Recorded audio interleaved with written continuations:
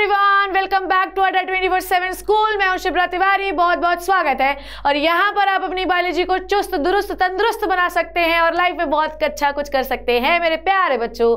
आज की कहानी जो मुझे सुनानी, आप सुनेंगे अपनी और सिर्फ़ अपनी शिप्रा मैम की जबानी, बच्चों। और आज मैं आपको पढ़ाने वाली हूँ one shot video of the biotechnology principle and processes का। इस यूनिट में आपको टोटल दो चैप्टर पढ़ने हैं और दोनों चैप्टर आपके टर्म टू में आने वाले हैं।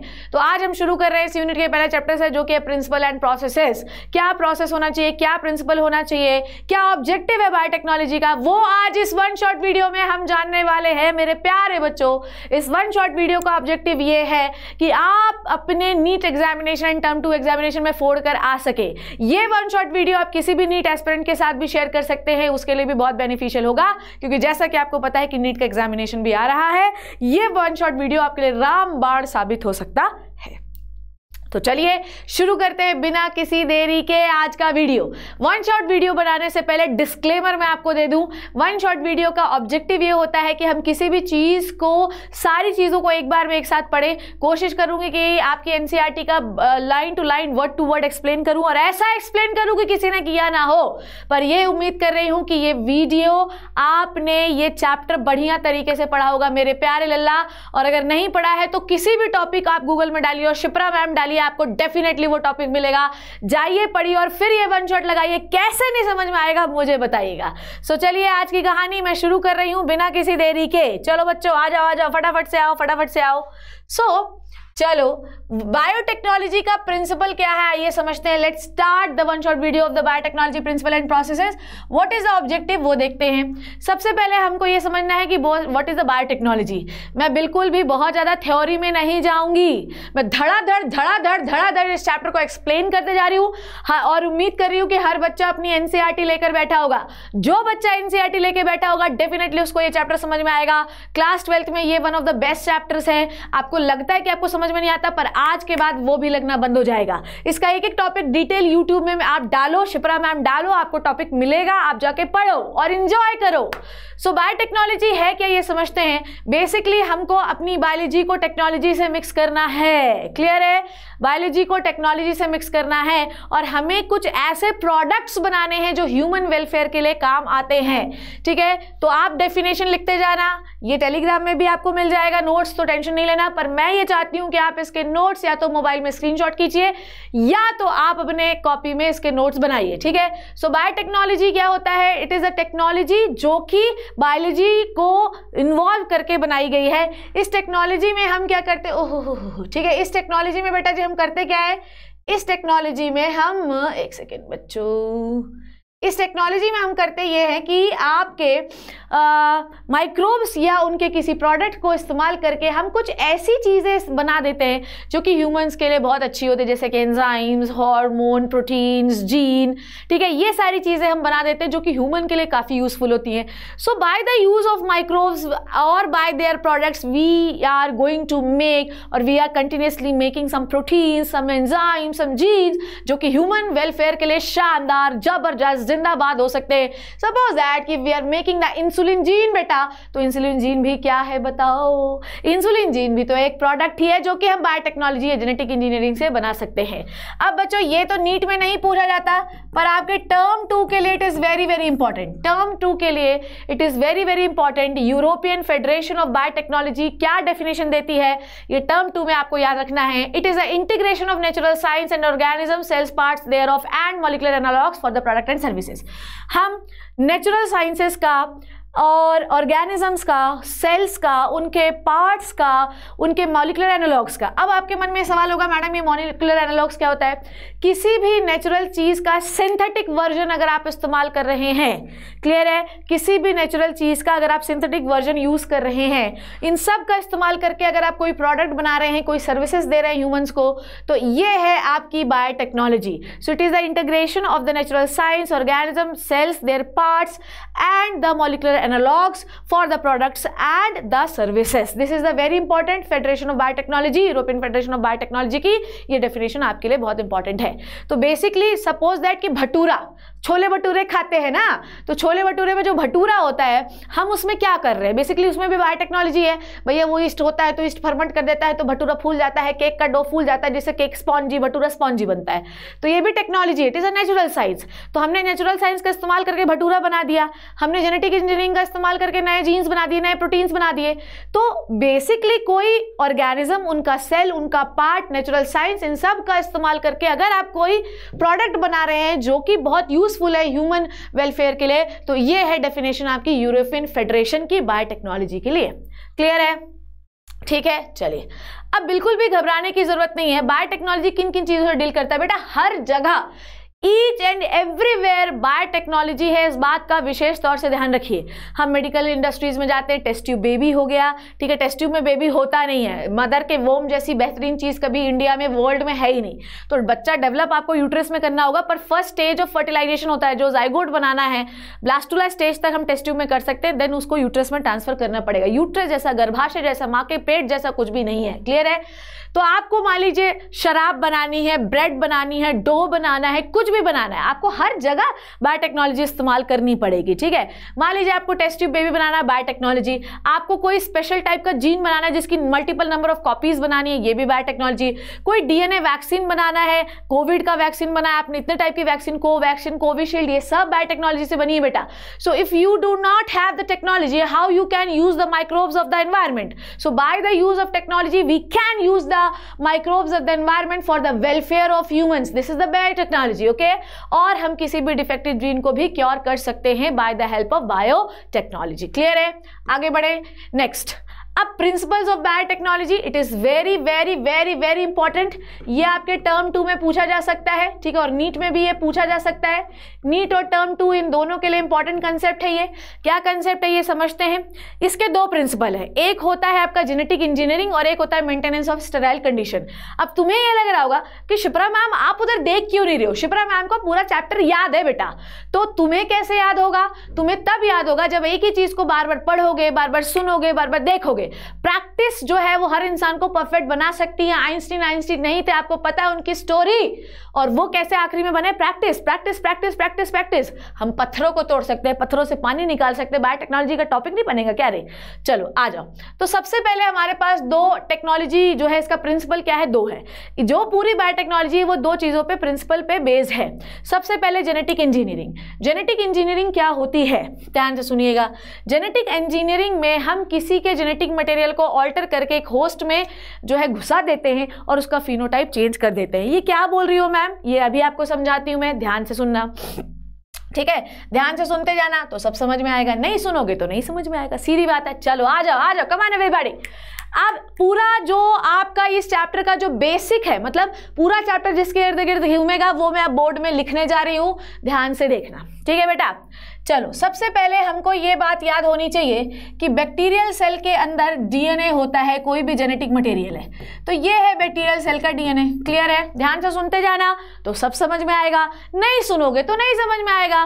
अब इस बैक्टीरिया सेल के अंदर बेटा जी, लल्ला जी, नन्नो जी, मुन्नो जी क्या है? एक सर्कुलर डीएनए है। क्या है एक circular DNA circular double standard DNA circular double standard DNA एक बैक्टीरिया है, ये मान लो कोई सा भी एक्स वाई जेड बैक्टीरिया है। ओके इसकी डिस्कवरी भी हम पढ़ेंगे। अब इस बैक्टीरिया के अंदर एक सर्कुलर डीएनए है, एक नॉर्मल डीएनए बैक्टीरिया का। ये जो सर्कुलर डबल स्टैंडर्ड डीएनए है डबल स्टैंडर्ड सर्क्यूलर डीएनए जो आपको दिखाई दे रहा है, इसे हम कहते हैं बेटा जी, लल्ला जी, नन्नो जी मुन्ना जी प्लाज्मिड क्लियर इसे हम क्या कहते हैं? प्लाज्मिड प्लाज्मिड के अंदर ये कैपेबिलिटी होती है कि वो, मैं थोड़ा सा फास्ट चलूँगी बिकॉज़ मेरे पास ऑप्शन नहीं है। मुझे I have to complete N केन प्रकार नहीं शाम दाम, दंड, भेद, मुझे कुछ भी करके ये चैप्टर आपको जल्दी से जल्द पढ़ाना है ताकि आपको बेहतरीन नॉलेज एक बार में मिल जाए। और अगर कोई ये बच्चा बोल रहा है डिटेल में पढ़ाओ डिटेल में पढ़ाओ, अभी वन शॉट पढ़ लो। इसके अलावा बाहर से कुछ भी नहीं आएगा। नीट के लिए भी परफेक्ट वन शॉट यही है, ठीक है? अब ये जो बेटा जी प्लाज्मिड है, ध्यान से सुनिए। इस प्लाज्मिड के अंदर सेल्फ रेप्लीकेशन का पावर होता है। मतलब अगर पहली बात इस बैक्टीरिया से अगर आपने इस प्लाज्मिड को निकाल लिया तो इस बैक्टीरिया को जो है, बिल्कुल भी एक्सवाइजेड जो है जो है बिल्कुल भटा फ़र्क पड़ता है, कोई फ़र्क नहीं पड़ता, क्योंकि इसके पास इसका खुद का डीएनए है। तो ये है एक्स्ट्रा क्रोमोजोमल डीएनए। ये बस वो संतान है जो कि मतलब वो आपने मूवीज़ में देखा होगा ना सताली संतानों के साथ कैसे बिहेव करते हैं तो ये वो सतीली संतान है, ठीक है? हालाँकि ऐसा नहीं होता, पर मूवीज़ में तो वही दिखाते हैं। तो इसको निकाल भी लोगे तो इनके घर को कोई फ़र्क नहीं पड़ना। तो ये एक extra chromosomal double standard circular DNA है। इसके अंदर सेल्फ रेप्लीकेशन का पावर होता है। क्लियर है? कभी कभी प्लाज्मिड में कुछ ऐसे एंटीबायोटिक रेजिस्टेंट जीन होने लगते हैं कि इस बैक्टीरिया पे एंटीबायोटिक डालते जाओ डालते जाओ, साला मरेगा ही नहीं। क्योंकि इसके पास अपने इसके पास क्या हो गया है? इसके पास एक एंटीबायोटिक रेजिस्टेंट जीन आ गया है, डेवलप हो गया है। भैया, इतने म्यूटेशन होते हैं प्लाज्मिड का जीन बदल गया। तो इसके पास वो जीन कन्वर्ट हो गया एंटीबायोटिक रेजिस्टेंट जीन में। ठीक है, अब इसके ऊपर वो फलाना एंटीबायोटिक डालते जाओगे तो कोई फ़र्क ही नहीं पड़ेगा, क्योंकि उस फलाना एंटीबायोटिक के लिए इसके पास एंटी, वो फलाना एंटीबायोटिक रेजिस्टेंट जीन है। क्लियर है? तो प्लाज्मिड के अंदर ये प्रॉपर्टी भी होती है कि उसके पास कभी कभी रेजिस्टेंट जीन होते हैं, जिसकी वजह से पर्टिकुलर बैक्टीरिया मरता नहीं है। पर हम जो पर्टिकुलर प्रॉपर्टीज़ चैप्टर के लिए इसकी यूज़ करने वाले हैं, वो है इसकी सेल्फ रेप्लीकेशन पावर ओके अब इसको निकाल भी लोगे तो कोई फ़र्क नहीं पड़ेगा। नाओ ध्यान से सुनिएगा। क्लियर है? ध्यान से सुनिए। आ जाइए। अब यहाँ पर निकाल कर इसको रख लीजिए। क्लियर इसको हम कहते हैं प्लाज्मिड इसको हम क्या कहें बेटा जी? प्लाज्मिड क्लियर क्लियर है? देखो। अब हम इस प्लाज्मिड को लल्ला मेरे आँखों के तारों, चाँद सितारों अगर तुम ये समझ जाओगे, पूरा वन शॉट एकदम मक्खन मलाई की तरह क्लियर हो जाएगा। प्लाज्मिड को लल्ला हम वेक्टर भी कह सकते हैं। प्लाज्मिड को हम और क्या कह सकते हैं? वेक्टर भी कह सकते हैं। वेक्टर क्या होता है? आज मेरी गाड़ी में बैठ जाओ, तुझे बैठाऊँगा, मैं फ़िल्म दिखाऊँगा, खाना खिलाऊँगा, फिर घर छोड़ जाऊँगा। सुना है आपने? सो बेसिकली प्लाज्मिड क्या है बेटा? प्लाज्मिड एक वैक्टर है। वैक्टर का काम क्या है वो समझिए। हमें मान लीजिए कि हमारे पास एक ध्यान से सुनिएगा। ठीक है, ये हमारे पास एक डीएनए है, ठीक है? ये डीएनए है, क्लियर? ये हमारे पास डीएनए है। डीएनए का ये वाला हिस्सा हमारा डिज़ायर जीन है। ये रेड से बना रही हूँ मैं। डीएनए का ये वाला हिस्सा जो है, ये हमें चाहिए। पूरा पूरा डीएनए मत करिएगा, ठीक है? कभी पहले क्या होता था कि हम पूरा डीएनए ले जाके प्लाज्मिड में जोड़ देते थे। उतना अपने को चाहिए नहीं। अपने को सिर्फ़ इतना चाहिए। ध्यान से समझ लीजिए, पूरा कंसेप्ट बायोटेक्नोलॉजी का इस पेज पे क्लियर हो जाएगा। ये हमारा एक डीएनए है, पर हमें सिर्फ़ इतना पोर्शन ही डीएनए का चाहिए। तो ये है बेटा हमारा डिजायर्ड जीन ये क्या है बेटा जी आपका? Desired gene this is the desired gene ये है आपका डीएनए और डीएनए का ये वाला पोर्शन है आपका डिजायर्ड जीन क्लियर है इतनी बात? आई डोंट थिंक सो इसमें कोई प्रॉब्लम होगी. This is the desired gene clear अब हमको क्या करना है? बेटा कट लगाना, नहीं डिजायर्ड जीन को निकालेंगे कैसे? तो यहाँ पर आप डालिए एक एंजाइम क्लियर ये हमारा डीएनए है. डीएनए का इतना पोर्शन हमको चाहिए था. हम चाहते हैं कि किसी भी तरीके से इस डिज़ायर जीन की मल्टीपल कॉपीज बन जाए. क्या चाहते हैं हम? कि किसी भी तरीके से इस डिज़ायर जीन की मल्टीपल कॉपीज बन जाए। ठीक? क्योंकि ये जीन जो है, मान लो इंसुलिन नाम का एक हार्मोन बनाता है। अब हमको चाहिए कि हमको बहुत सारा इंसुलिन चाहिए। तो बहुत सारे जीन बना लो, बहुत सारे जीन बना लो। पर बहुत सारे जीन बनाऊँ कैसे मैडम यही जेनेटिक इंजीनियरिंग का ऑब्जेक्टिव है कि कैसे हमको मल्टीपल कॉपीज ऑफ़ जीन बनाना है। ना नेक्स्ट थिंग देखेंगे ध्यान से। लल्ला लल्ला इसको बता दूँ। चलो, आ जाओ, ध्यान से सुनो। नाउ अब इस डिज़ायर जीन को कट कर लो। हाँ मैम कट कर लिए हैं, कोई टेंशन नहीं ब्लू कलर का डिज़ायर जीन नहीं है शिप्रा मैडम ये आपका डिज़ायर जीन कट हो गया। डीजी लिख दो इसको मैं? ये आपका डिज़ायर जीन कट कर रखा हुआ है। पर आपके मन में ये सवाल होना चाहिए कि, मैडम, आप बोल रही हो कि यहाँ से काटो तो क्या यूज़ किया? तो बेटा, इसमें आप यूज़ करते हैं रेस्ट्रिक्शन एंजाइम ठीक है? इसमें आप यूज़ करते हो रेस्ट्रिक्शन एंजाइम ठीक? रेस्ट्रिक्शन एंजाइम जो होते हैं, वो डीएनए को बीच में से काट देते हैं। क्लियर और साथ में आप यही सेम रेस्ट्रिक्शन एंजाइम इस प्लाज्मिड को भी काटने के लिए इस्तेमाल करो। जो रेस्ट्रिक्शन एंजाइम आपने डीएनए को काटने के लिए इस्तेमाल किया था, वही रेस्ट्रिक्शन एंजाइम इसको यूज़ करो। क्या है रेस्ट्रिक्शन एंजाइम वो बाद में पढ़ेंगे। अब आपका बेटा जी प्लाज्मिड भी कट के रेडी है, ठीक है? इसने अपना जो है कटवा लिया है। ओके ये कट के रेडी क्लियर और यहाँ पर डीएनए भी कट के रेडी हो गया है। अब बेटा ध्यान से सुनना। अब इस वेक्टर में इस डीएनए को बैठा दो। बैठ गया डीएनए क्लियर है? बोलो बोलो बोलो। बोलो ये हो गया आपका। ठीक? क्लियर हो गया। अब हमें इसे एक होस्ट सेल के अंदर ले जाना है। ठीक है? ये हमारी है होस्ट सेल क्लियर है? ये है हमारी होस्ट सेल ठीक? होस्ट सेल जो है वो है प्ला, प्लाज्मिड लिख रही हूँ। ठीक? देखो ध्यान से। ये है हमारी होस्ट सेल क्लियर अब इस होस्ट सेल को के अंदर हमने ये प्लाज्मिड डाल दिया। प्लाज्मिड किसी भी बैक्टीरियल सेल से निकाल लीजिए तो बैक्टीरिया को कोई फ़र्क नहीं पड़ना। कोई भी प्लाज्मिड बैक्टीरिया के अंदर डाल लीजिए तो भी बैक्टीरिया को कोई फ़र्क नहीं पड़ना। अब बेटा आओ मेरे साथ। ये डाल दिया तुमने। डाल दिया? डाल दिया। क्लियर डाल गया। अब ये जो होस्ट सेल है बेटा, ये है आपकी ट्रांसफॉर्मेंट सेल कौन सी सेल है ये बेटा? ट्रांसफॉर्मेंट सेल मैम, ये ट्रांसफॉर्मेंट सेल क्यों हो गई? ठीक है? बेटा जी, इस प्रोसेस को आप कहते हैं transformation this process is called as transformation क्यों मैम ट्रांसफॉर्मेशन किया? हमने एक बैक्टीरियल सेल को रिकॉमिनेंट बैक्टीरियल सेल में कन्वर्ट कर दिया। मैम, इसको रिकॉमिनेंट बैक्टीरियल सेल आप क्यों कह रही हो? क्योंकि इसके पास जो प्लाज्मिड था, वो इसका खुद का था। पर अब हमने इसमें कौन सा प्लाज्मिड ऐड कर दिया? Recombinant this is a recombinant plasmid is and ये क्या है बेटा? रिकॉम्बिनेंट प्लाज्मिड ये रिकॉम्बिनेंट प्लाज्मिड है ना ये? अब इस रिकॉम्बिनेंट ये प्लाज्मिड है ये रिकॉम्बिनेंट प्लाज्मिड है, इस रिकॉम्बिनेंट प्लाज्मिड को हमने एक होस्ट सेल में डाल दिया। होस्ट सेल क्या है बेटा? बैक्टीरिया होस्ट सेल क्या है बेटा? बैक्टीरिया डाल दिया बैक्टीरिया में। ठीक बैक्टीरिया में डालने कितना बुरा लिखा मैं। बैक्टीरिया में डाल दिया है। अब ये जो सेल कहलाई, ध्यान से सुनना। ध्यान से सुनना। चलो। ये जो सेल आई है, ये है आपकी recombinant recombinant transformant. Recombinant, transformant. ठीक है? ट्रांसफॉर्मेंट। ठीक है? ये है आपकी रिकॉम्बिनेंट, ट्रांसफॉर्मेंट। मतलब आपने प्लाज्मिड ट्रांसफॉर्म कर दिया दिस इज़ ट्रांसफॉर्मेशन और ये जो प्रोसेस है it is a recombinant transformation clear है? डन हो गई।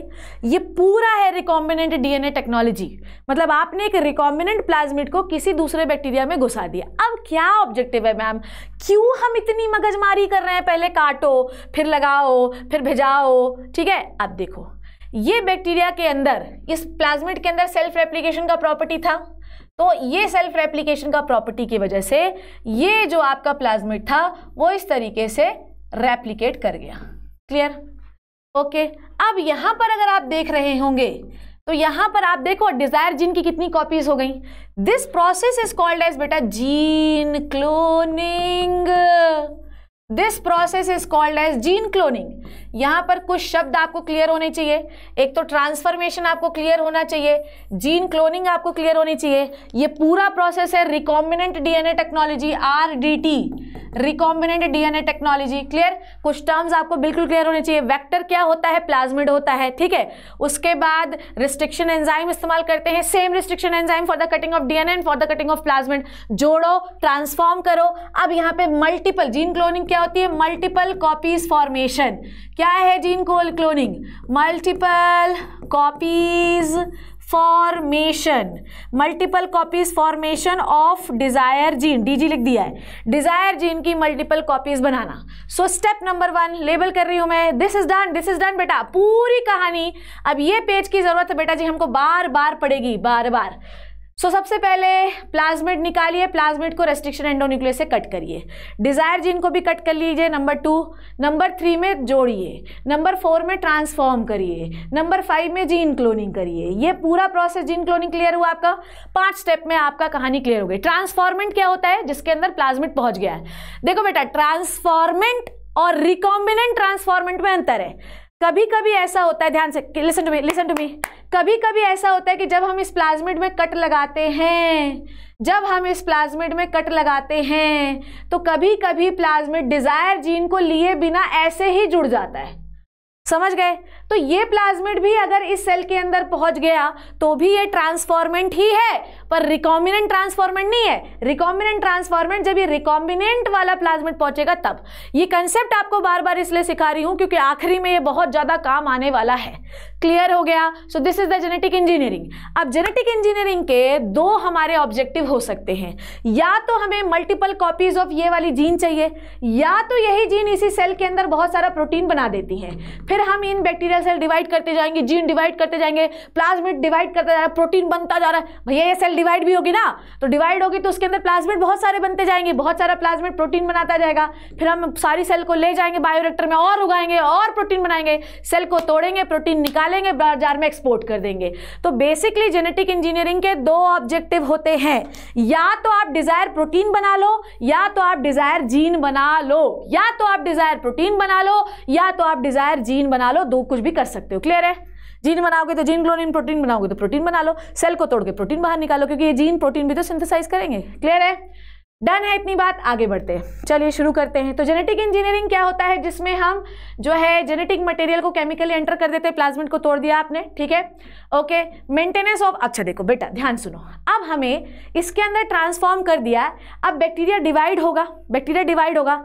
बैक्टीरिया डिवाइड होगा तो उसके अंदर जो प्लाज्मिड है वो भी डिवाइड होते जाएँगे होते जाएँगे होते जाएँगे। नंबर ऑफ़ प्लाज्मिड बढ़ते जाएँगे बढ़ते जाएँगे बढ़ते जाएँगे बढ़ते जाएँगे।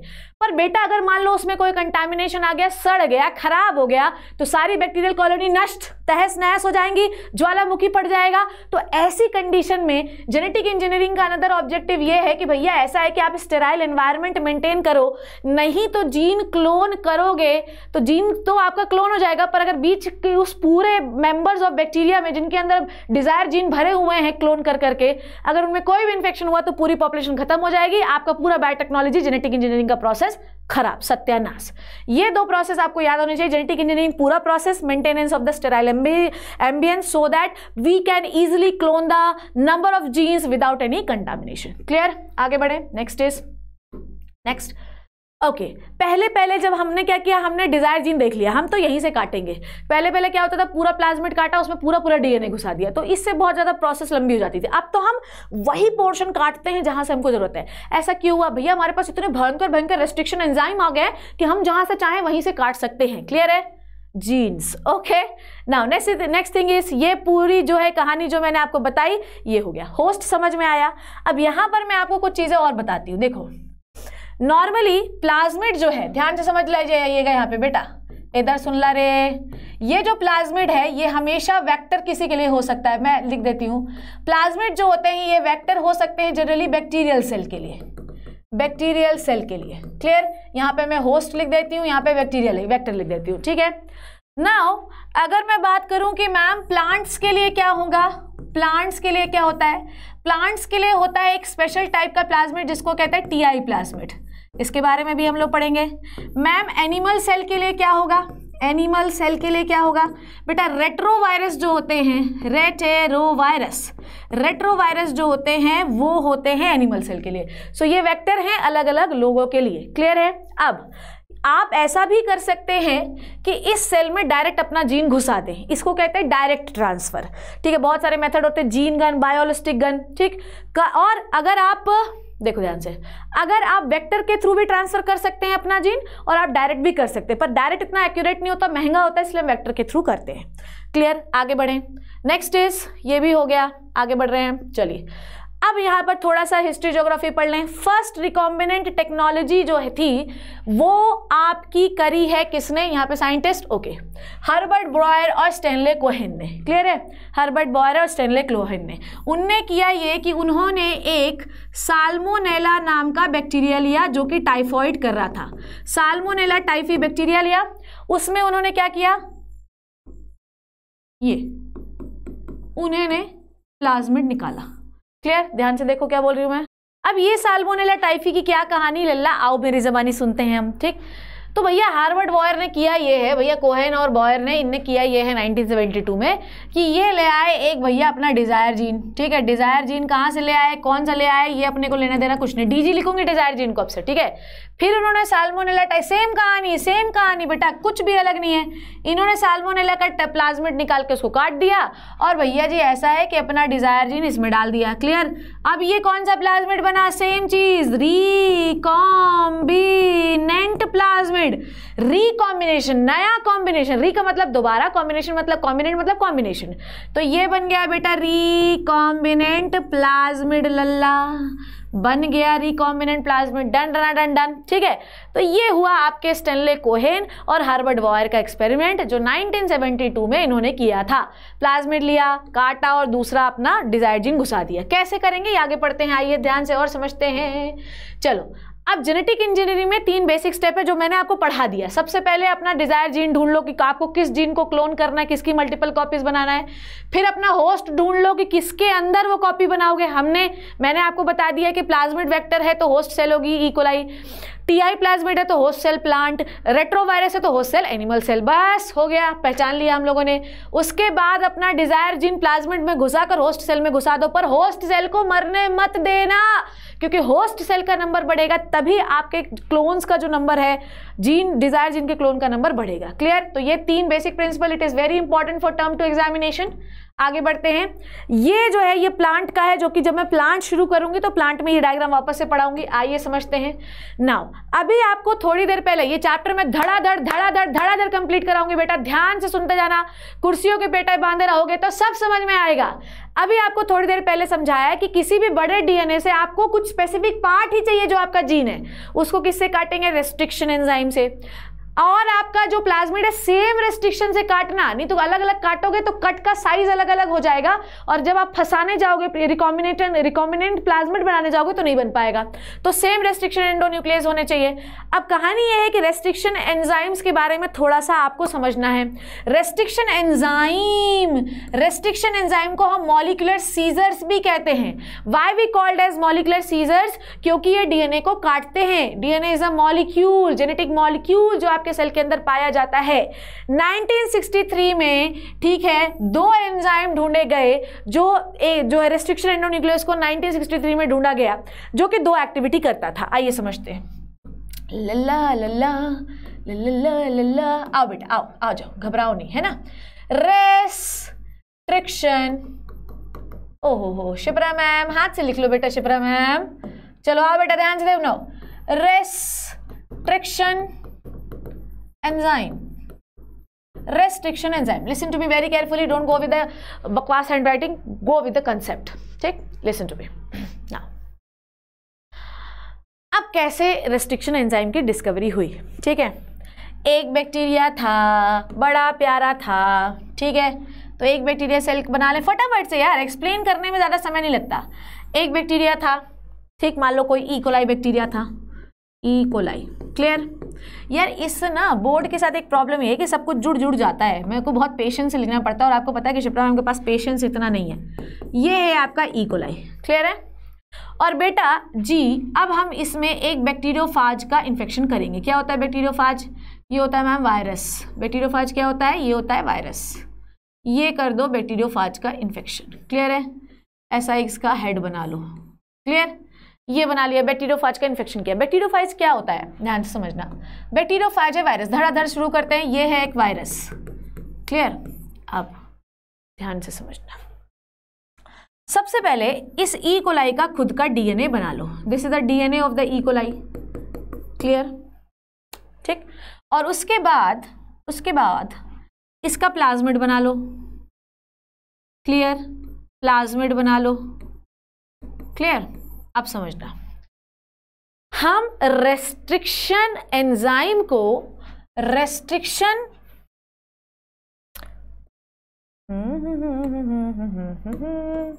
ध्यान से सुनते जाना, है ना?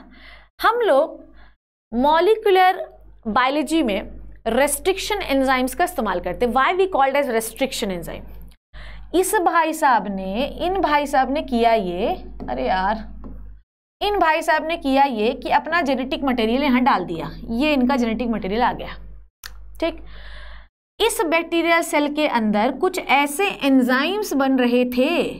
इस बैक्टीरियल सेल के अंदर कुछ ऐसे एंजाइम्स बन रहे थे जो इसे धड़ धड़ धड़ धड़ काट डाले। क्लियर इसको हम कहते हैं क्या आपका? बोलो।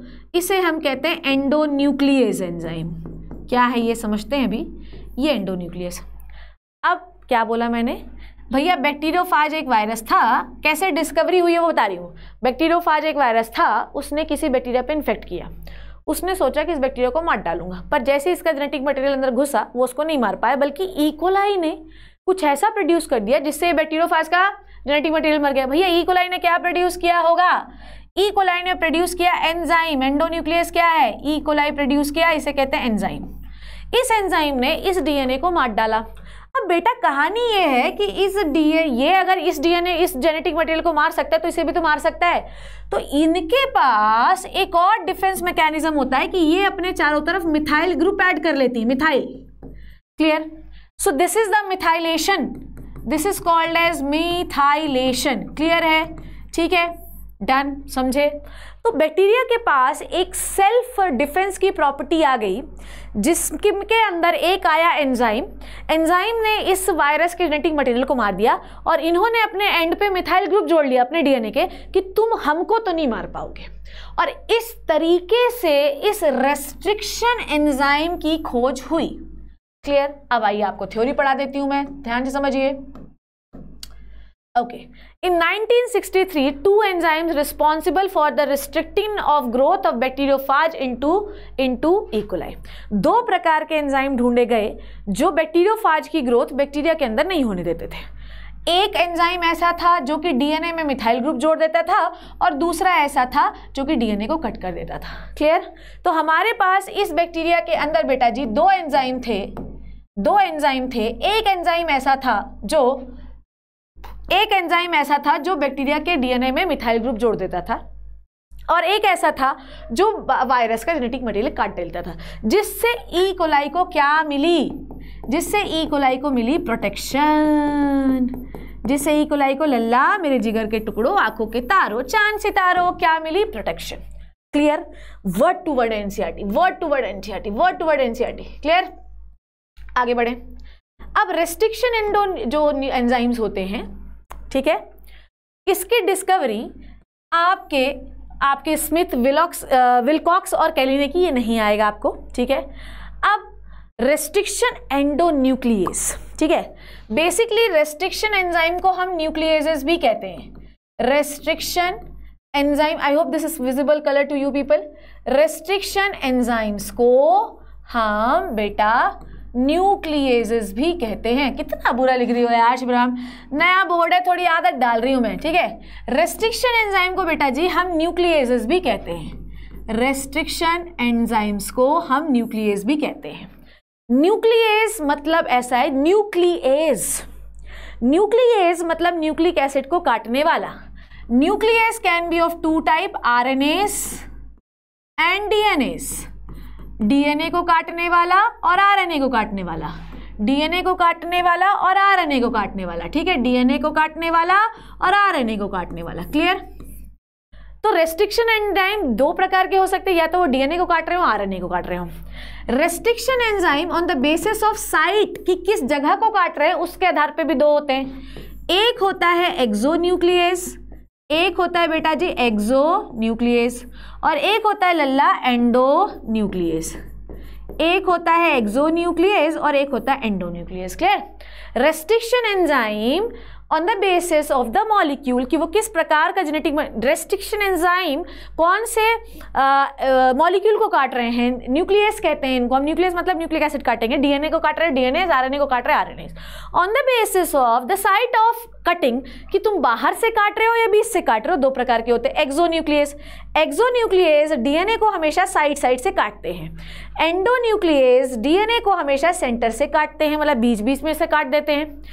रिकॉम्बिनेंट डीएनए टेक्नोलॉजी में हम लोग कौन सा एंजाइम इस्तेमाल करते हैं? ये वाला। एक्सोन्यूक्लियस नहीं इस्तेमाल किया जाता। कौन सा इस्तेमाल किया जाता? है एंडोन्यूक्लियस क्लियर है?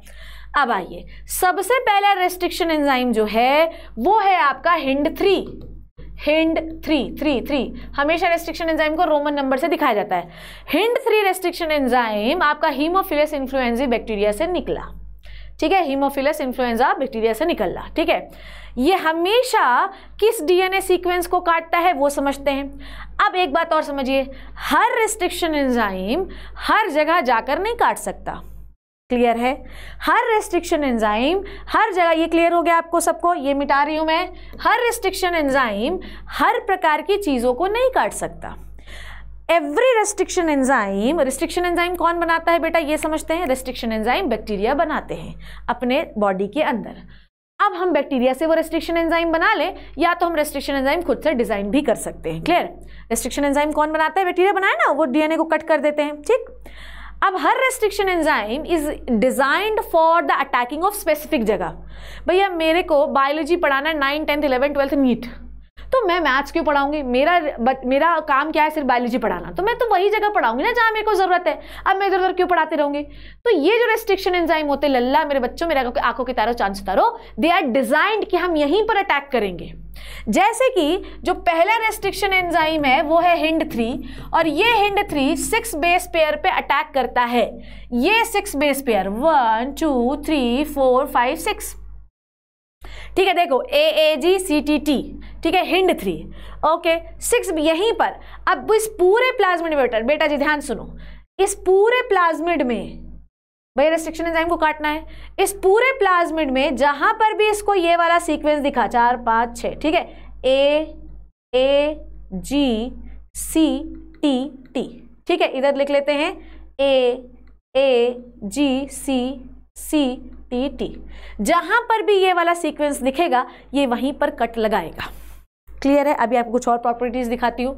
ठीक है? तो इसे हम कहते हैं रिकग्निशन सीक्वेंस कोई भी रेस्ट्रिक्शन एंजाइम किसी भी जगह को काटने के लिए पहले वो देखता ओ ओ मेरा सीक्वेंस कहाँ है, मेरा सीक्वेंस कहाँ है? जहाँ उसको मिलता है कि ये वाला, मैं तो भैया ए ए ए ए जी सी टी टी को ही पहचानना है तो मैं वही पहचानूँगा और वहीं पे कट लगाऊँगा। क्लियर है? समझ में आ गई बात?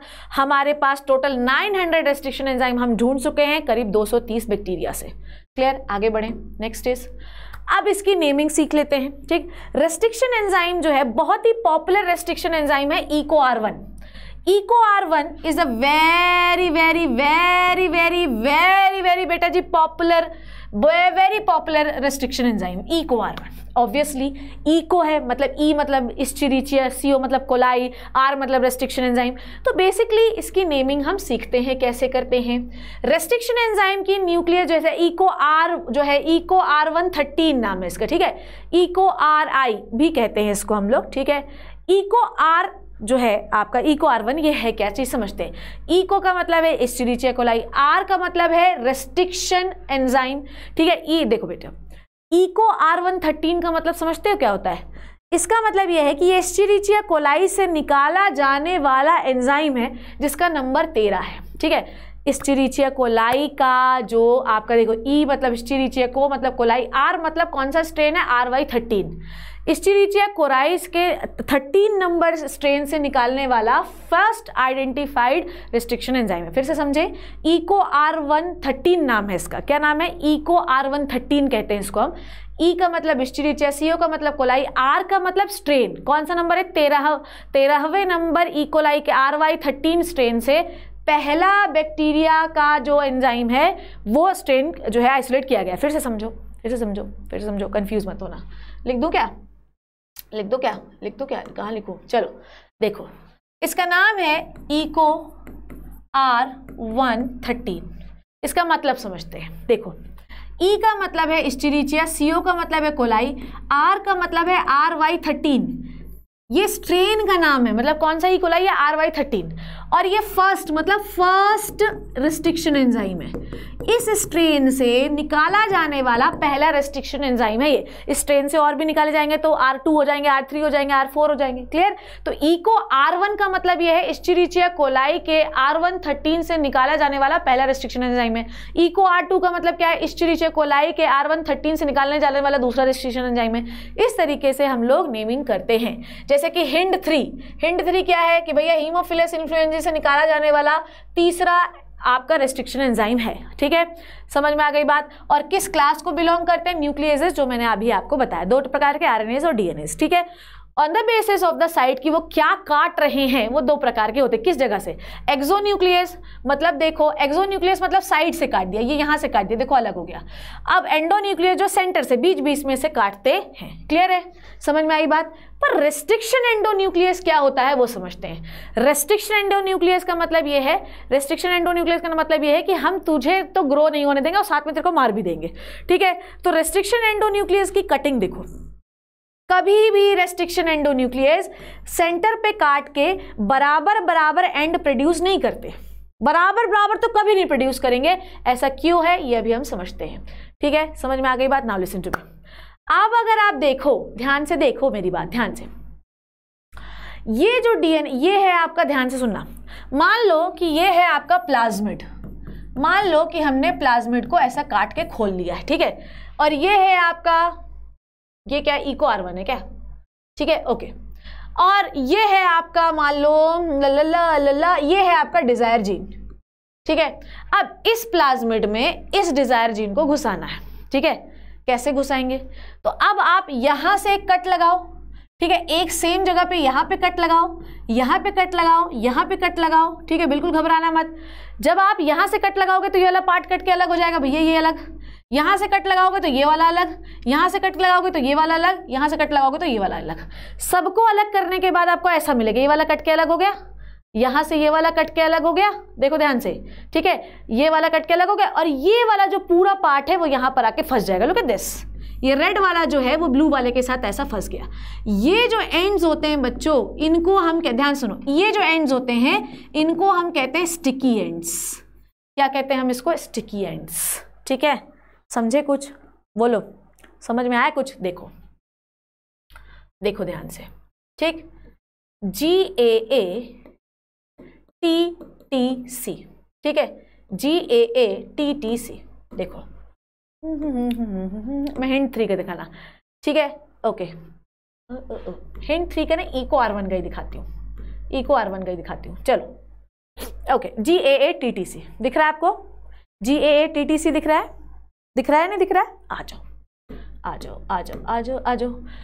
ठीक सेम चीज़। इको आर वन का ये है recognition sequence Eco R one जो एंजाइम है Eco R one Escherichia coli के आर वाई थर्टीन से निकाला जाने वाला पहला रेस्ट्रिक्शन एंजाइम है। वो बेटा जी, ध्यान से सुनो, वो बेटा जी सिर्फ़ इसी सीक्वेंस पे अटैक करता है। सिर्फ़ इसी सीक्वेंस पे, किसी और पे अटैक नहीं करेगा। ठीक? समझ में आ गई बात? अब समझते हैं। Eco R one G A A T थोड़ा साफ़ बना लेती हूँ उसको मैं। जी ए ए टी टी सी बनाऊ मैं इसको? बोलो। सो अरे यार। जी जी ए ऐसा नहीं लिखना है। G A A T T C clear ये है आपका five dash to three dash end ठीक है? ओके यहाँ से भी आपको देखना देखना ध्यान से। इसका ऑपोजिट बनाओ। सी का क्या होता है हमेशा? जी ए ए टी टी सी ये भी हो गया five dash to three dash end clear restriction enzyme हमेशा ऐसे सीक्वेंस पे अटैक करते हैं जो यहाँ से पढ़ेंगे या यहाँ से पढ़ेंगे। Listen to me listen to me restriction enzyme हमेशा उस जगह पर अटैक करते हैं कि five dash to three dash end आप चाहे ऐसे पढ़ लो, चाहे ऐसे पढ़ लो, आएगा same G A A T T C G A A T T C आया? इन सीक्वेंस को हम कहते हैं पैलिंड्रोमिक सीक्वेंस ठीक है पैलिन पै स्पेलिंग में तो शिवराम का महान है ये, ठीक है? Palin play palindromic sequence spelling देख लेना बेटा, ठीक है? पैलिंड्रोमिक सीक्वेंस क्लियर पहले क्या हो गया है? पैलिंड्रोमिक सीक्वेंस क्लियर है बेटा? ध्यान सुनो. सो रेस्ट्रिक्शन एंडोन्यूक्लियस जो होते हैं, वो किसी स्पेसिफिक जगह पर ही वर्क करते हैं. अगर आप five dash to three dash end ऐसा पढ़ोगे जी A A T T C चाहे आप five dash to three dash ऐसा पढ़ोगे तो भी G A A T T C clear ठीक? पर कभी भी रेस्ट्रिक्शन एंजाइम बराबर बराबर कट प्रोड्यूस नहीं करते। मैं बस यही वाला बता रही हूँ आपको। लाओ। यहाँ पर रेस्ट्रिक्शन एंजाइम ने, यहाँ पर ये देखो जी से ए के बीच में कट किया और यहाँ से जी से ए के बीच में कट किया। क्लियर ये है बेटा जी आपका प्लाज्मिड ये क्या है बेटा जी आपका प्लाज्मिड क्लियर और ऐसे ही आपको ऐसे ही आपको डिज़ायर जीन में भी कट लगाने हैं, ठीक है? G A A T T सी ठीक है? G A A T T सी जो रेस्ट्रिक्शन एंड एंजाइम आप वहाँ पर यूज़ कर रहे हो, वही यहाँ पे यूज़ करोगे। क्लियर तो जी से ए के बीच में यहाँ कट करो जी से ए के बीच में यहाँ कट करो। क्लियर है? बोलो बोलो बोलो। ठीक है? G A A T T C G A A T T C clear हुआ? अब आओ। ध्यान से सुनो। अब अगर आप ये वाला देखो सेम मैंने यही बनाया आपका सेम मैंने यही बनाया है आपका, ठीक है? ओके ए से जी के बीच में काटा ए से जी के बीच में एक से जी के बीच में काटा, ठीक? जब आप इसको कट करोगे तो आपको क्या दिखाई देगा बोलो? जब आप इसको कट करोगे तो ये ऐसा दिखाई देगा कुछ, देखो। फाइव डैश ठीक है, ये हो गया जी ठीक है, ये हो गया इसका सी ठीक? और T T A A clear बोलो। बोलो बोलो, ये ऐसा दिखाई देगा भैया, ये पूरा कट के अलग हो जाएगा ना? ये पूरा पार्ट कट के अलग, और ये जी कट के अलग, ये ऐसा दिखाई देगा, और ये कैसा दिखाई देगा? ये कैसा दिखाई देगा? ये ऐसा दिखाई देने लगेगा, ये ऐसा दिखाई देने लगेगा।